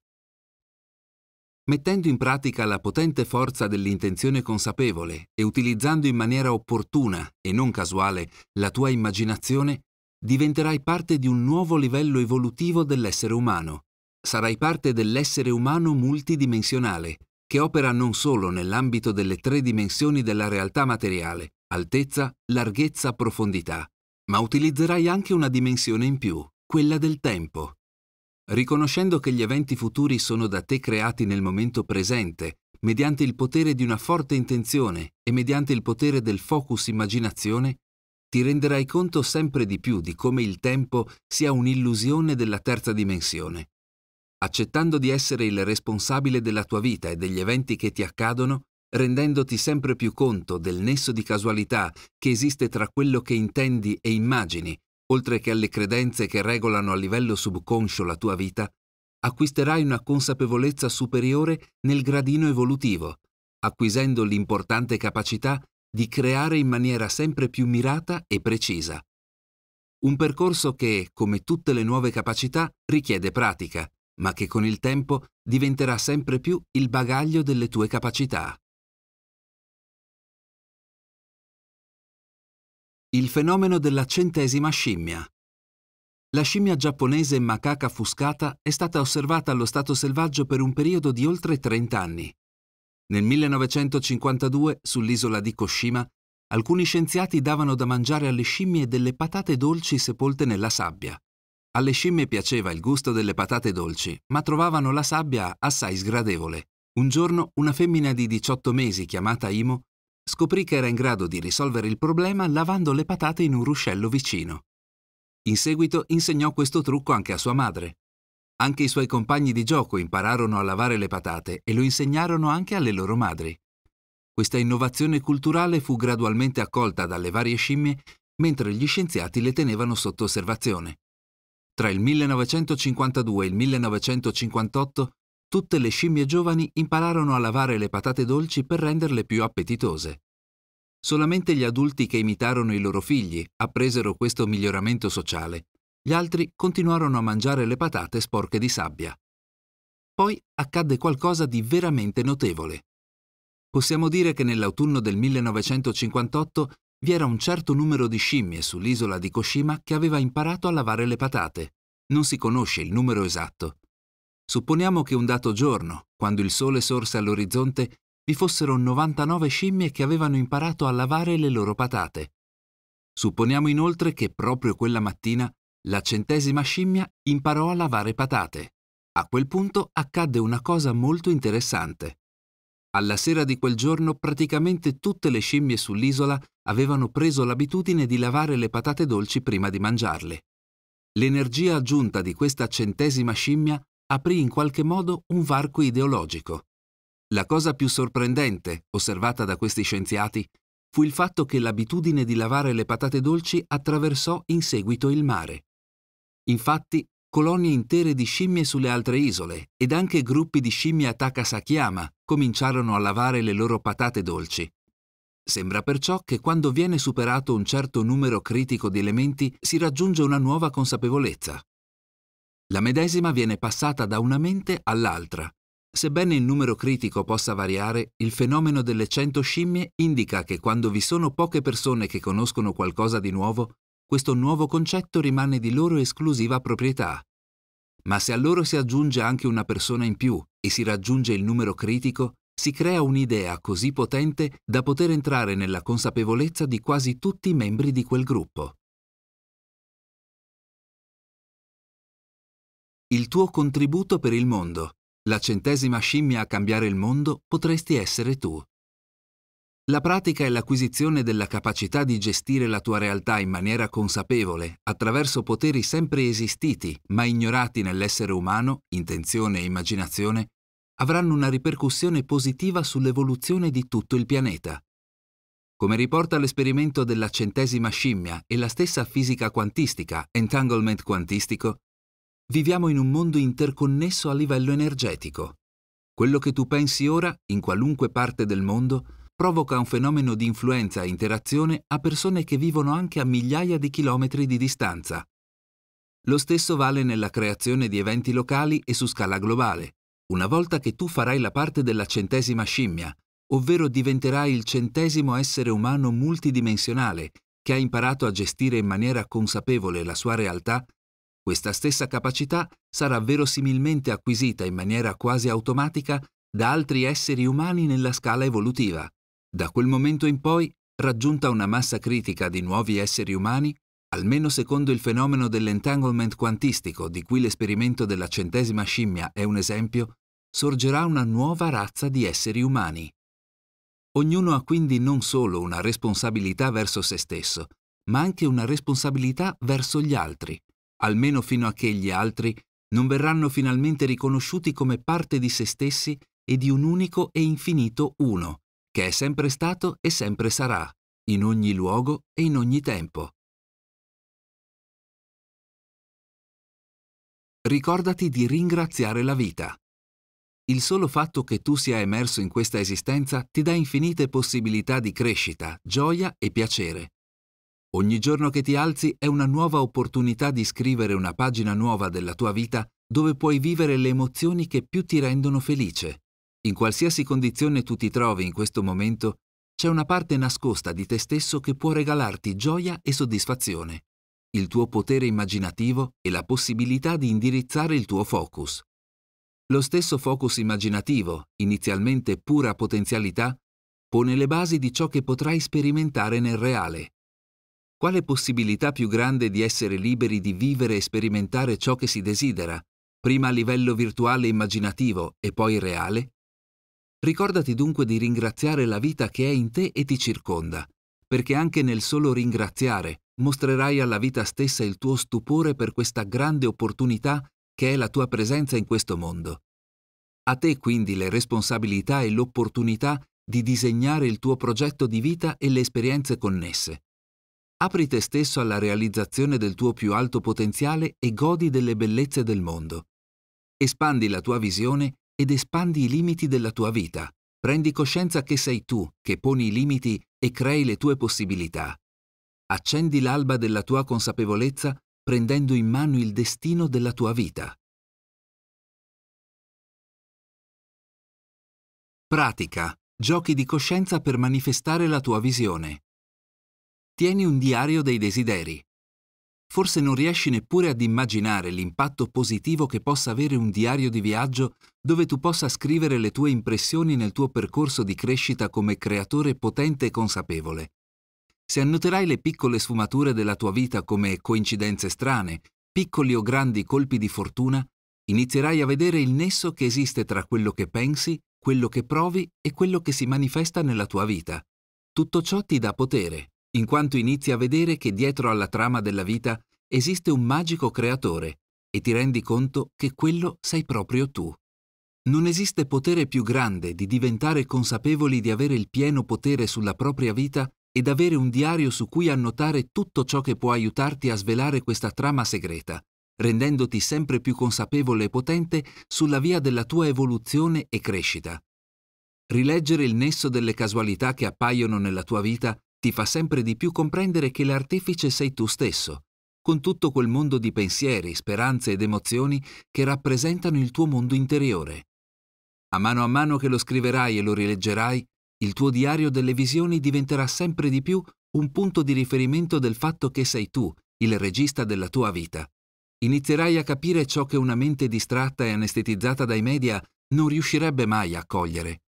Il diario ti mette in contatto con la parte profonda di te stesso che vuole ed aspira al massimo bene per la tua vita. Il diario ti parla di ciò che la tua mente razionale non conosce e non può capire, il linguaggio simbolico dei segni, dei codici nascosti e dei messaggi della natura. Il tuo diario delle visioni può esserti utile nel trovare la tua strada nelle vie del mondo.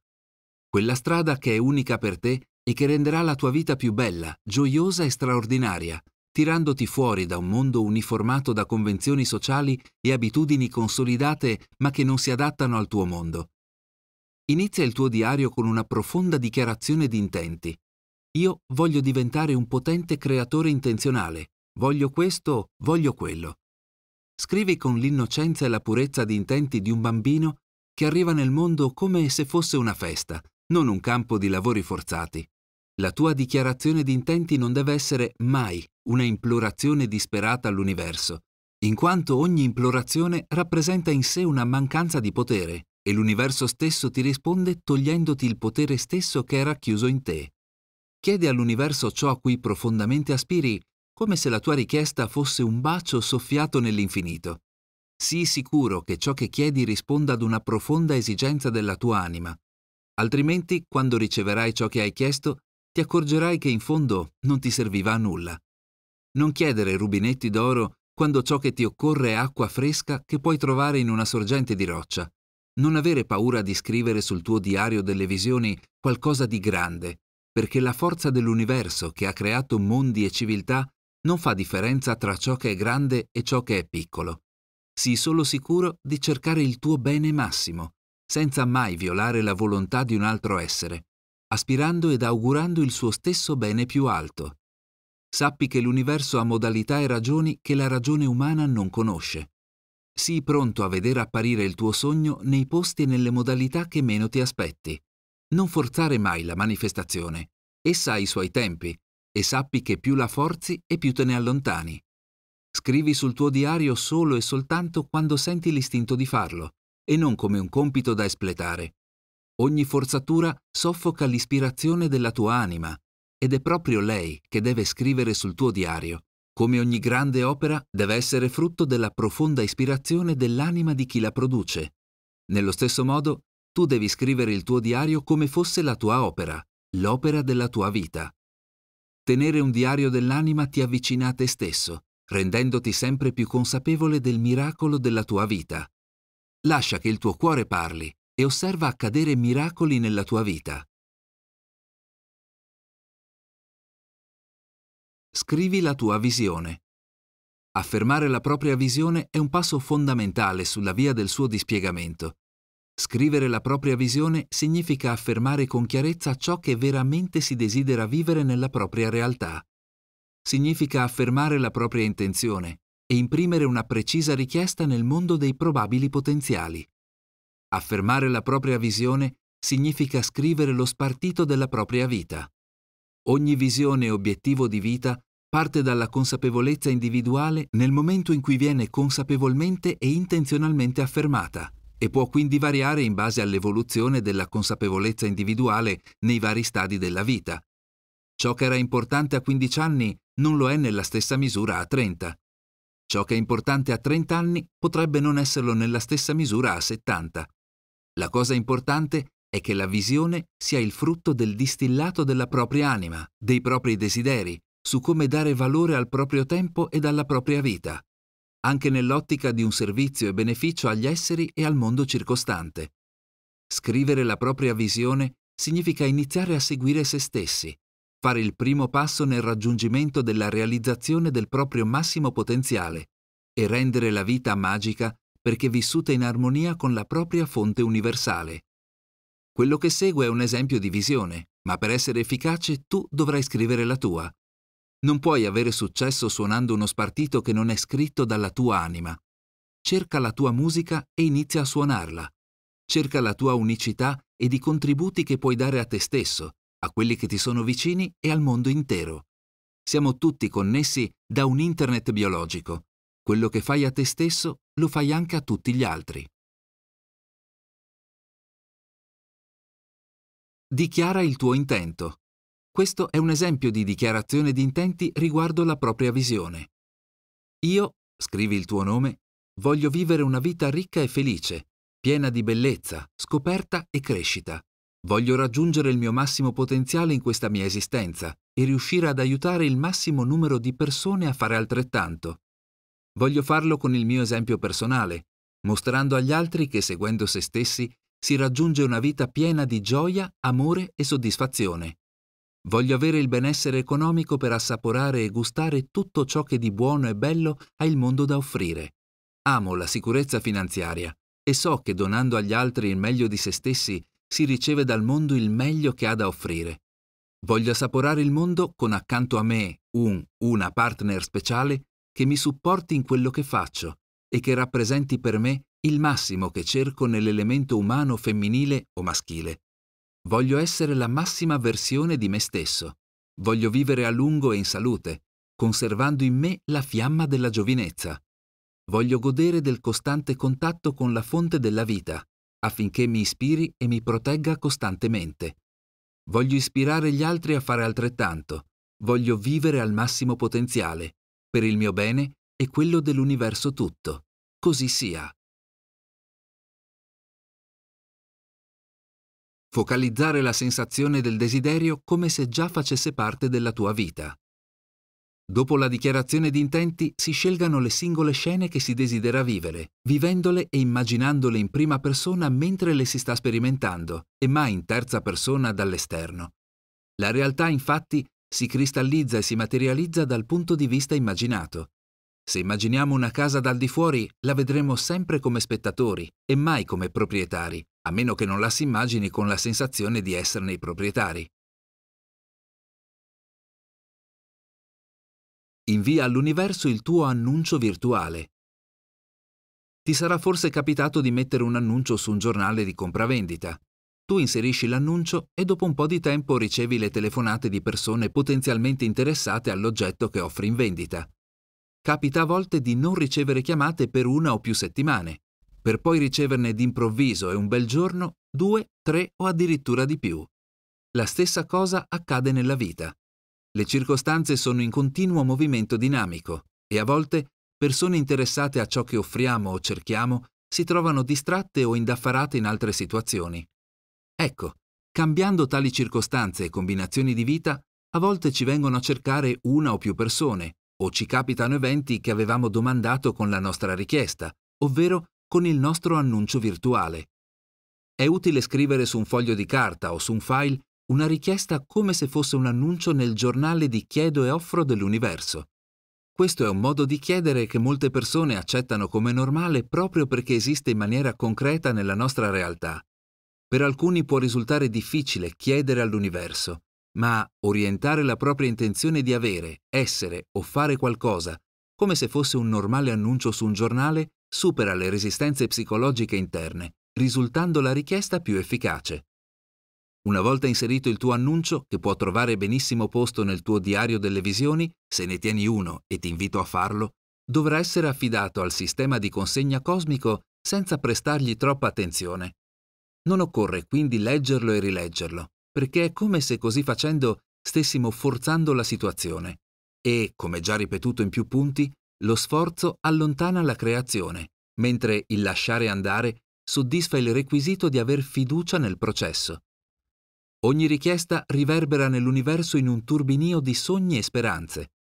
Affidare all'invisibile il proprio annuncio virtuale permette di mettere in lista d'attesa la propria richiesta, aspettando che prima o poi si crei la combinazione di eventi che soddisfi ciò che è stato chiesto. Requisito fondamentale per ricevere è quello di affidarsi al sistema di pubblicità e di consegna, senza dubitare. Mai ci verrebbe in mente di chiamare il giornale che pubblica il nostro annuncio dicendo se tutto sia andato a buon fine.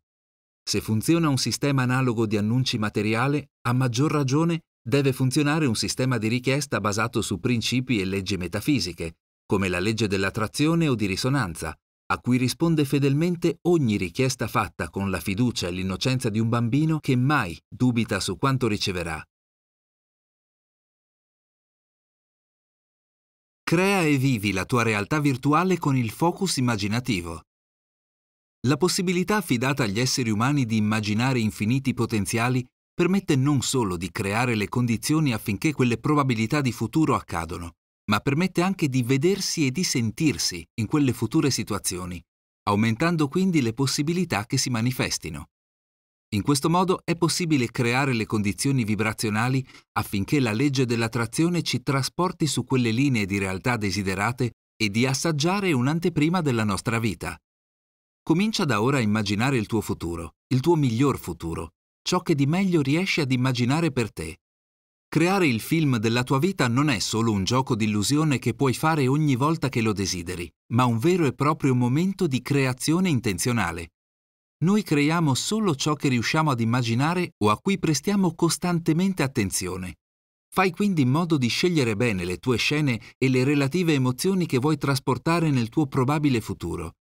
Vivilo sempre in prima persona come se fossi tu stesso il protagonista e non come uno spettatore che guarda un film seduto al cinema. Se immagini di ballare con la tua donna o il tuo uomo, fallo mentre la guardi o lo guardi negli occhi. Se immagini la tua nuova bella casa, vivici dentro. Immaginati davanti al calore del suo caminetto o affacciati a guardare la stupenda vista che si gode dalle sue grandi finestre.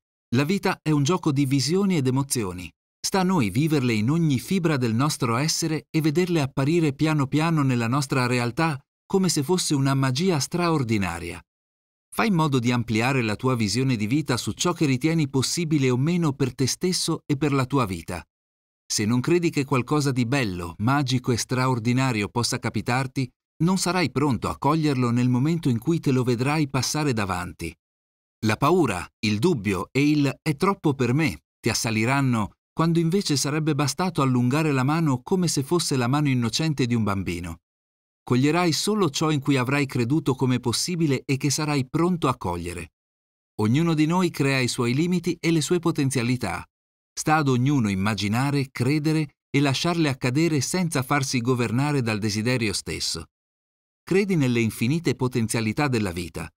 Ogni porta che si chiude può celarne un'altra ancora più maestosa e adatta a te. Alza il tuo sguardo verso le possibilità della vita e credici. Ricorda che i tempi della manifestazione spesso non seguono la tua agenda, ma un loro tempo che a volte risulta in perfetta tempistica nella tua vita. Finché ci crederai veramente, ci sarà sempre un'opportunità ad aspettarti. Non credere solo per fiducia alle mie parole, ma inizia a vivere la tua vita come magia, iniziando a seguire i sogni della tua anima, piccoli o grandi che siano. Lascia da parte il superfluo e vivi solo le immagini della tua realtà immaginativa che ti regalano gioia ed emozioni positive, perché saranno quelle che vivrai nella tua realtà materiale. La banca dei ricordi. Ognuno di noi ha sicuramente all'interno di sé un archivio di memorie e di ricordi formato da emozioni scolpite nella propria coscienza. Accedere volontariamente a questa vera e propria banca dei ricordi ci permette di accedere a questo grande archivio vibrazionale di emozioni che sono state parte del nostro vissuto. Immergersi in quel bagno caldo di emozioni ci permette non solo di rievocarle e di riviverle, ma anche di proiettare la luce delle nostre emozioni nel nostro probabile futuro. Il beneficio di ricordare buoni ricordi non è solo nel momento presente, ovvero assaporare momenti vissuti, ma anche di far sì che le emozioni, rivissute con l'atto di ricordare, riverberino nel nostro futuro possibile attraverso un'attrazione vibrazionale. Esistono molti giochi della coscienza, molti modi di utilizzarla in maniera cosciente e consapevole in modo da plasmare in maniera positiva la nostra vita. Se è vero, ed è vero, che la nostra realtà è il risultato della proiezione della nostra coscienza, formata da pensieri, emozioni, aspettative e credenze, accedere alla nostra banca di ricordi permette di spostare volontariamente il nostro punto di attrazione verso la vita che vogliamo vivere, verso le esperienze di cui vogliamo godere nel mondo reale. Immaginare un ricordo e viverne le emozioni non è fine a se stesso, ma un potente atto creativo. Nel caso in cui non si sia mai provato una determinata esperienza e quindi non la si abbia ancora nel proprio archivio emozionale della propria banca dei ricordi, si potrà comunque lavorare e giocare con la propria coscienza attraverso l'esercizio del focus immaginativo su qualcosa che sentiamo di poter vivere e a cui accedere nella nostra realtà tridimensionale. Per agganciare quelle emozioni che non abbiamo ancora vissuto in prima persona, potremo procedere alla visione di un film, video e immagini che mostrano quelle persone e quelle situazioni che racchiudono l'essenza di ciò che vogliamo vivere. Oggi è cosa relativamente facile, con la facilità di accesso a contenuti multimediali e ad enormi banche dati come Internet. Basti digitare parole chiave su motori di ricerca ed accedere, dopo un'opportuna ricerca, a contenuti che ci diano una sensazione di ciò che desideriamo vivere e di cui emozionarci. Sarà quindi opportuno staccarsi dai contenuti standard, programmi spazzatura, film violenti e diseducativi, che inondano inconsapevolmente i nostri occhi e la nostra coscienza su base giornaliera e fare in modo che nello schermo della nostra anima vengano proiettate solo le scene e le realtà virtuali che ci portino le emozioni che vogliamo vivere. Con la ripetizione, quelle scene entreranno a far parte del nostro vissuto emozionale e a poco a poco vedremo apparire nella nostra vita, per attrazione vibrazionale, proprio quelle condizioni che vorremmo cogliere e vivere in maniera reale. A quel punto starà a noi saperle cogliere con l'azione ispirata descritta in questo libro. La banca dei ricordi e la visione dei contenuti che ci rendono emozionalmente vivi ci fanno crescere come coscienze. Sono solo una premessa alla creazione intenzionale della nostra realtà non devono essere fini a se stesse, altrimenti vivremo in un sogno o realtà virtuale di cui saremo nello stesso tempo re e prigionieri. Occorre anche lavorare sulla propria realtà concreta e quotidiana, accettando gli impegni e il lavoro concreto che ci sarà eventualmente da svolgere. Occorre cogliere l'attimo della preziosa occasione che prima o poi potrà presentarsi e in altri casi occorrerà quotidianamente costruire in maniera paziente il proprio sogno, sempre con la passione nel cuore e la mente al risultato ottenuto, anche se al momento solo a livello di immaginazione. Questo tipo di lavoro eleva un individuo da un livello di vita automatico e inconsapevole a un livello di vita e di consapevolezza superiori, che implicano la responsabilità e la preziosa opportunità personale di gestire quell'enorme potenzialità contenuta nella nostra coscienza e nella capacità di gestirla e di ampliarla in maniera consapevole. Libera il respiro per liberare lo spirito. Nel respiro esiste un enorme potere. Questo potere è pressoché sconosciuto. Liberare il respiro, mediante sedute specifiche di respirazione, permette non solo di accedere a strati alterati di coscienza, ma di sciogliere blocchi emotivi che non permettono all'individuo di fluire liberamente nel flusso della vita e di prendere contatto con la sua vera essenza. Respirare in maniera intensa ed intenzionale per almeno 30 o 40 minuti permette al corpo di ricaricarsi di energia vitale, la quale poi darà la forza al corpo stesso di depurarsi di tutte quelle tossine fisiche ed emozionali che spesso inquinano la purezza del corpo e la limpidezza dello spirito. Respirare in maniera specifica porta al riequilibrio acido-base attraverso l'espulsione, nel respiro stesso, degli acidi accumulati. Durante il training al respiro, il corpo è soggetto a tutta una serie di reazioni che sono la prova che si sta intervenendo con successo verso il contatto, l'accettazione e lo scioglimento di stratificazioni emotive somatizzate nel corpo attraverso malanni ed emozioni negative irrisolte.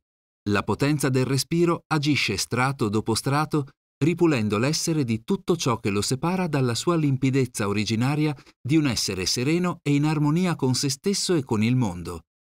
La respirazione, eseguita in maniera specifica, è uno strumento straordinario di crescita personale e di evoluzione della propria coscienza. Essa permette all'individuo di ritrovare se stesso, una volta ripulito dalle barriere emotive che lo separano dalla propria essenza più profonda. La respirazione è uno strumento fondamentale per trovare la propria visione. Essa costituisce una delle vie di accesso alla propria anima. Liberare il respiro permette allo spirito di librarsi sulle vette della sua accettazione, liberazione e realizzazione. Lo scopo di una seduta di respirazione deve essere quello di portare il corpo ad abbassare la sua guardia, per permettere alla mente di tuffarsi in quello stato dove ha libero accesso la propria verità interiore. Questo stato di beatitudine psicofisica si chiama integrazione psicocorporea. Raggiunto quel momento di profondo abbandono di ogni resistenza al controllo delle emozioni somatizzate nel corpo e trattenute nello spirito, si percepirà un vero e proprio momento di estasi e liberazione. È come liberarsi da un peso che si portava sulle spalle da anni, ma di cui ci si era dimenticati, essendo diventato il proprio bagaglio emotivo. La tecnica. Una seduta di respirazione dovrebbe durare da un minimo di 30 minuti fino ad oltre un'ora. Andrebbe eseguita preferibilmente con l'assistenza di un'altra persona, che permetta non solo di mantenere il ritmo respiratorio nel caso ci si stia addormentando, ma anche di assistere la persona stessa durante la fase di sintomi che accompagnano la fase di integrazione, tetania muscolare, rilascio delle tensioni emotive, pianto, rievocazione e liberazione da eventi traumatici vissuti. Nel momento in cui dovessero insorgere questi sintomi, l'assistente aiuterà la persona a mantenere l'intensità ed il ritmo respiratorio al fine di attenuare e sciogliere quelle tensioni. Occorrerà respirare come se il respiro fluisse attraverso le zone di tensione, resistenza o fastidio. La respirazione, durante le sessioni di training respiratorio, dovranno essere caratterizzate dall'assenza di pause tra ispirazione ed espirazione, riempiendo il più possibile i polmoni dalla parte bassa, respirazione addominale, fino agli apici polmonari, respirazione toracica. Il fenomeno dell'integrazione psicocorporea potrà avvenire in almeno 8 o 10 sedute, solo dopo che il corpo fisico ed emozionale sarà stato ripulito dagli strati emozionali da cui era coperto e oppresso. La riprova che si sarà fatto un buon lavoro sarà il fatto che ci si sentirà più connessi con se stessi, con gli altri e con la vita sarà possibile un aumento di fenomeni di sincronicità a riprova che si sia raggiunta una modalità di essere in armonia con il tutto. Domande e risposte sul potere di manifestazione consapevole. Qual è l'energia che esaudisce i miei desideri? L'energia focalizzata nel tuo desiderio già realizzato e vissuto in prima persona. L'energia universale che crea i mondi è la stessa energia che tu utilizzi per creare il tuo mondo, come riflesso delle tue circostanze di vita. Come faccio a manifestare? Pensa a ciò che desideri come già realizzato, emanando le emozioni che proveresti gustandolo, toccandolo, vedendolo e udendolo. Poi agisci in maniera ispirata, facendo quello che senti dentro di te come giusto o cosa da fare. Fallo in maniera naturale e senza sforzo Semplicemente chiedi e ti sarà dato, nei tempi e nei modi che l'universo deciderà. Mai forzare la creazione, ma lasciala andare. Quanto tempo occorre affinché il mio desiderio si manifesti? La legge di attrazione agisce nel non tempo, ovvero nella quarta dimensione, dove lo ieri, L'ora e il domani sono contemporanei. Ogni desiderio avrà il suo compimento se il focus avrà dietro una intenzione abbastanza forte e nello stesso tempo non si darà troppa importanza al desiderio stesso. Il potere creativo esiste e agisce nel momento presente. È il pensiero che abbiamo ora che proietta lo stampo della forma pensiero che plasmerà il nostro domani. Per velocizzare la creazione dell'evento occorre immaginarlo come già vero nel momento presente e con uno spirito sereno e fiducioso che stia già avvicinandosi alla nostra linea di vita e di esperienza. Il forzare la creazione porta all'allontanamento del risultato stesso. Ridurre la sua importanza, al contrario, permette che scivoli nella nostra realtà. Come posso diventare un creatore potente e consapevole? Lo sei già, ma non ne sei al corrente, in quanto non poni abbastanza attenzione a ciò che inconsciamente desideri e non vedi sottili nessi di apparente causalità tra i tuoi pensieri e ciò che vivi nella tua realtà. Diventare un creatore consapevole implica innanzitutto l'assunzione della responsabilità della propria vita, in termini di pensieri, azioni e quindi di risultato.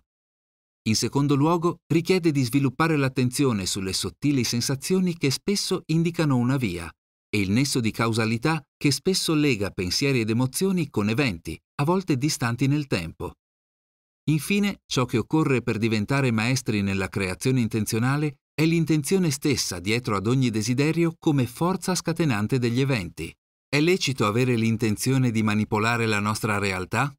Ogni essere ha il diritto di scegliere la propria strada, espressione del proprio libero arbitrio e della sovranità del suo essere al pari di ogni altra creatura. La volontà di indirizzare la propria vita verso esperienze di gioia, piacere e crescita fanno parte di un essere che vede all'evoluzione come il suo fine ultimo. Anche il non volere fare scelte è una scelta in sé e va rispettata. La regola fondamentale è di rispettare pienamente la libertà di scelta altrui e il libero arbitrio. Ognuno ha il diritto di scelta come noi e va ritenuto sacro. Come faccio a sapere che sto progredendo sulla via della creazione intenzionale? Te ne accorgerai quando, a mano a mano che indirizzerai la tua intenzione, assieme alla tua immaginazione, vedrai apparire segni e manifestazioni della cosa che stai cercando, fino eventualmente alla sua completa realizzazione nella tua realtà di vita. Altro indizio è la sensazione di gioia e di potere personale derivanti dal fatto di rendersi conto che è potenzialmente possibile rendere la propria vita un insieme di esperienze gratificanti e che non siamo fuscelli in balia di un caso capriccioso, ma che un giorno saremo maestri della nostra vita, in quanto liberi di scegliere ciò che si vuole ed abili nella sua manifestazione, sempre e comunque nel pieno rispetto del libero arbitrio altrui e della creazione tutta. Come posso ringraziare l'universo, Dio, la forza, o come vogliamo chiamarla, per questo immenso dono che mi ha concesso come essere umano, ovvero di essere libero di scegliere intenzionalmente le esperienze di vita che più desidero? Semplicemente mettendo in pratica ciò che hai imparato. Diventare maestri nella creazione intenzionale implica un salto evolutivo dell'essere umano, che diventa da creatore inconsapevole a creatore consapevole della propria esistenza. L'universo si espande ed evolve di pari passo con la nostra scelta. Come faccio a sapere ciò che voglio? Intendi di volerlo sapere. Invia all'universo la tua intenzione di scoprire qual è lo scopo della tua anima e qual è la migliore via da percorrere nell'ottica della tua crescita e del tuo benessere. Chiedi inoltre di sapere come tu possa contribuire al bene del tutto, anche se già seguendo te stesso e la tua vera visione di vita darai un enorme contributo al tuo mondo circostante che riverbererà molto oltre. Seguendo te stesso diventerai una persona realizzata e gioiosa, e ciò da solo sarà un enorme contributo a chi ti sta intorno. Oltre a ciò, ispirerai altri a seguire se stessi ed a trovare la loro migliore formula del loro successo personale. Qual è il più grande contributo che io posso dare alla mia comunità? Realizzarti come persona, perseguendo ciò per cui sei portato per natura. Il risultato sarà una persona ricca di gioia e di vitalità che mette l'arte in quello che fa. Non esisteranno più persone stanche ed annoiate, la ruota della vita girerà per tutti in maniera più facile ed armoniosa. In una società di esseri realizzati, ognuno dà il suo massimo contributo, non solo a se stesso, ma alla comunità tutta e oltre. Cosa posso fare per aiutare chi mi sta intorno e combatte contro la vita invece di assecondarla scivolando nelle sue opportunità? Ciò che puoi fare è dimostrare il tuo esempio di vita. Puoi suggerirgli di imparare a gestire la sua realtà, ma senza forzare in alcun modo le sue scelte di vita. Ognuno è libero di scegliere il modo di pensare, di vivere e di fare le sue scelte. Quando una persona è pronta per qualcosa, allunga da sé la mano e chiede spontaneamente a chi sente di poter chiedere. Nell'evoluzione non esiste forzatura. Ogni pianta, seme o albero hanno i loro tempi per dispiegare se stessi e le loro potenzialità, così l'essere umano. Non bisogna mai giudicare nessuno in base alle proprie ragioni. Ognuno possiede la propria ragione che crea la realtà della propria vita. Qual è la domanda che l'anima di ciascuno fa a se stesso? Conosci te stesso, ascolta te stesso e segui te stesso. Questo libro vuole essere una guida verso il raggiungimento di questi tre imperativi dell'anima di ciascuno. Note finali dell'autore. Gentile lettrice, gentile lettore, spero con questo libro di aver contribuito in qualche modo a farti comprendere l'enorme potere che hai nelle tue mani, il potere di cambiare la tua vita come meglio ritieni. Voglio farti comprendere come tu, in qualunque situazione ti trovi attualmente, possiedi il potere di scelta e di cambiare in meglio qualsiasi situazione. La vita è un processo di crescita e diventare maestri nell'uso dell'intenzione e dell'immaginazione permette di divenire parte di una vera e propria rivoluzione dell'essere umano, da essere umano creatura ad essere umano creatore. Utilizzare il subconscio a proprio favore permette di crescere ed evolvere come individui, oltre a manifestare cose belle e importanti nella propria vita. Ogni essere umano ha il diritto di vivere secondo i suoi standard, sempre nel pieno rispetto della libera scelta altrui. Grazie per essere stato con me in questo breve viaggio alla scoperta di te stesso. Ti auguro di cuore ogni bene. David. Hai ascoltato Il potere della tua visione. Manifesta ciò che vuoi con il potere dell'intenzione e dell'immaginazione. Di David De Angelis. Copyright David De Angelis 2021. Narrato da Alex Martinelli. Tutti i diritti sono riservati.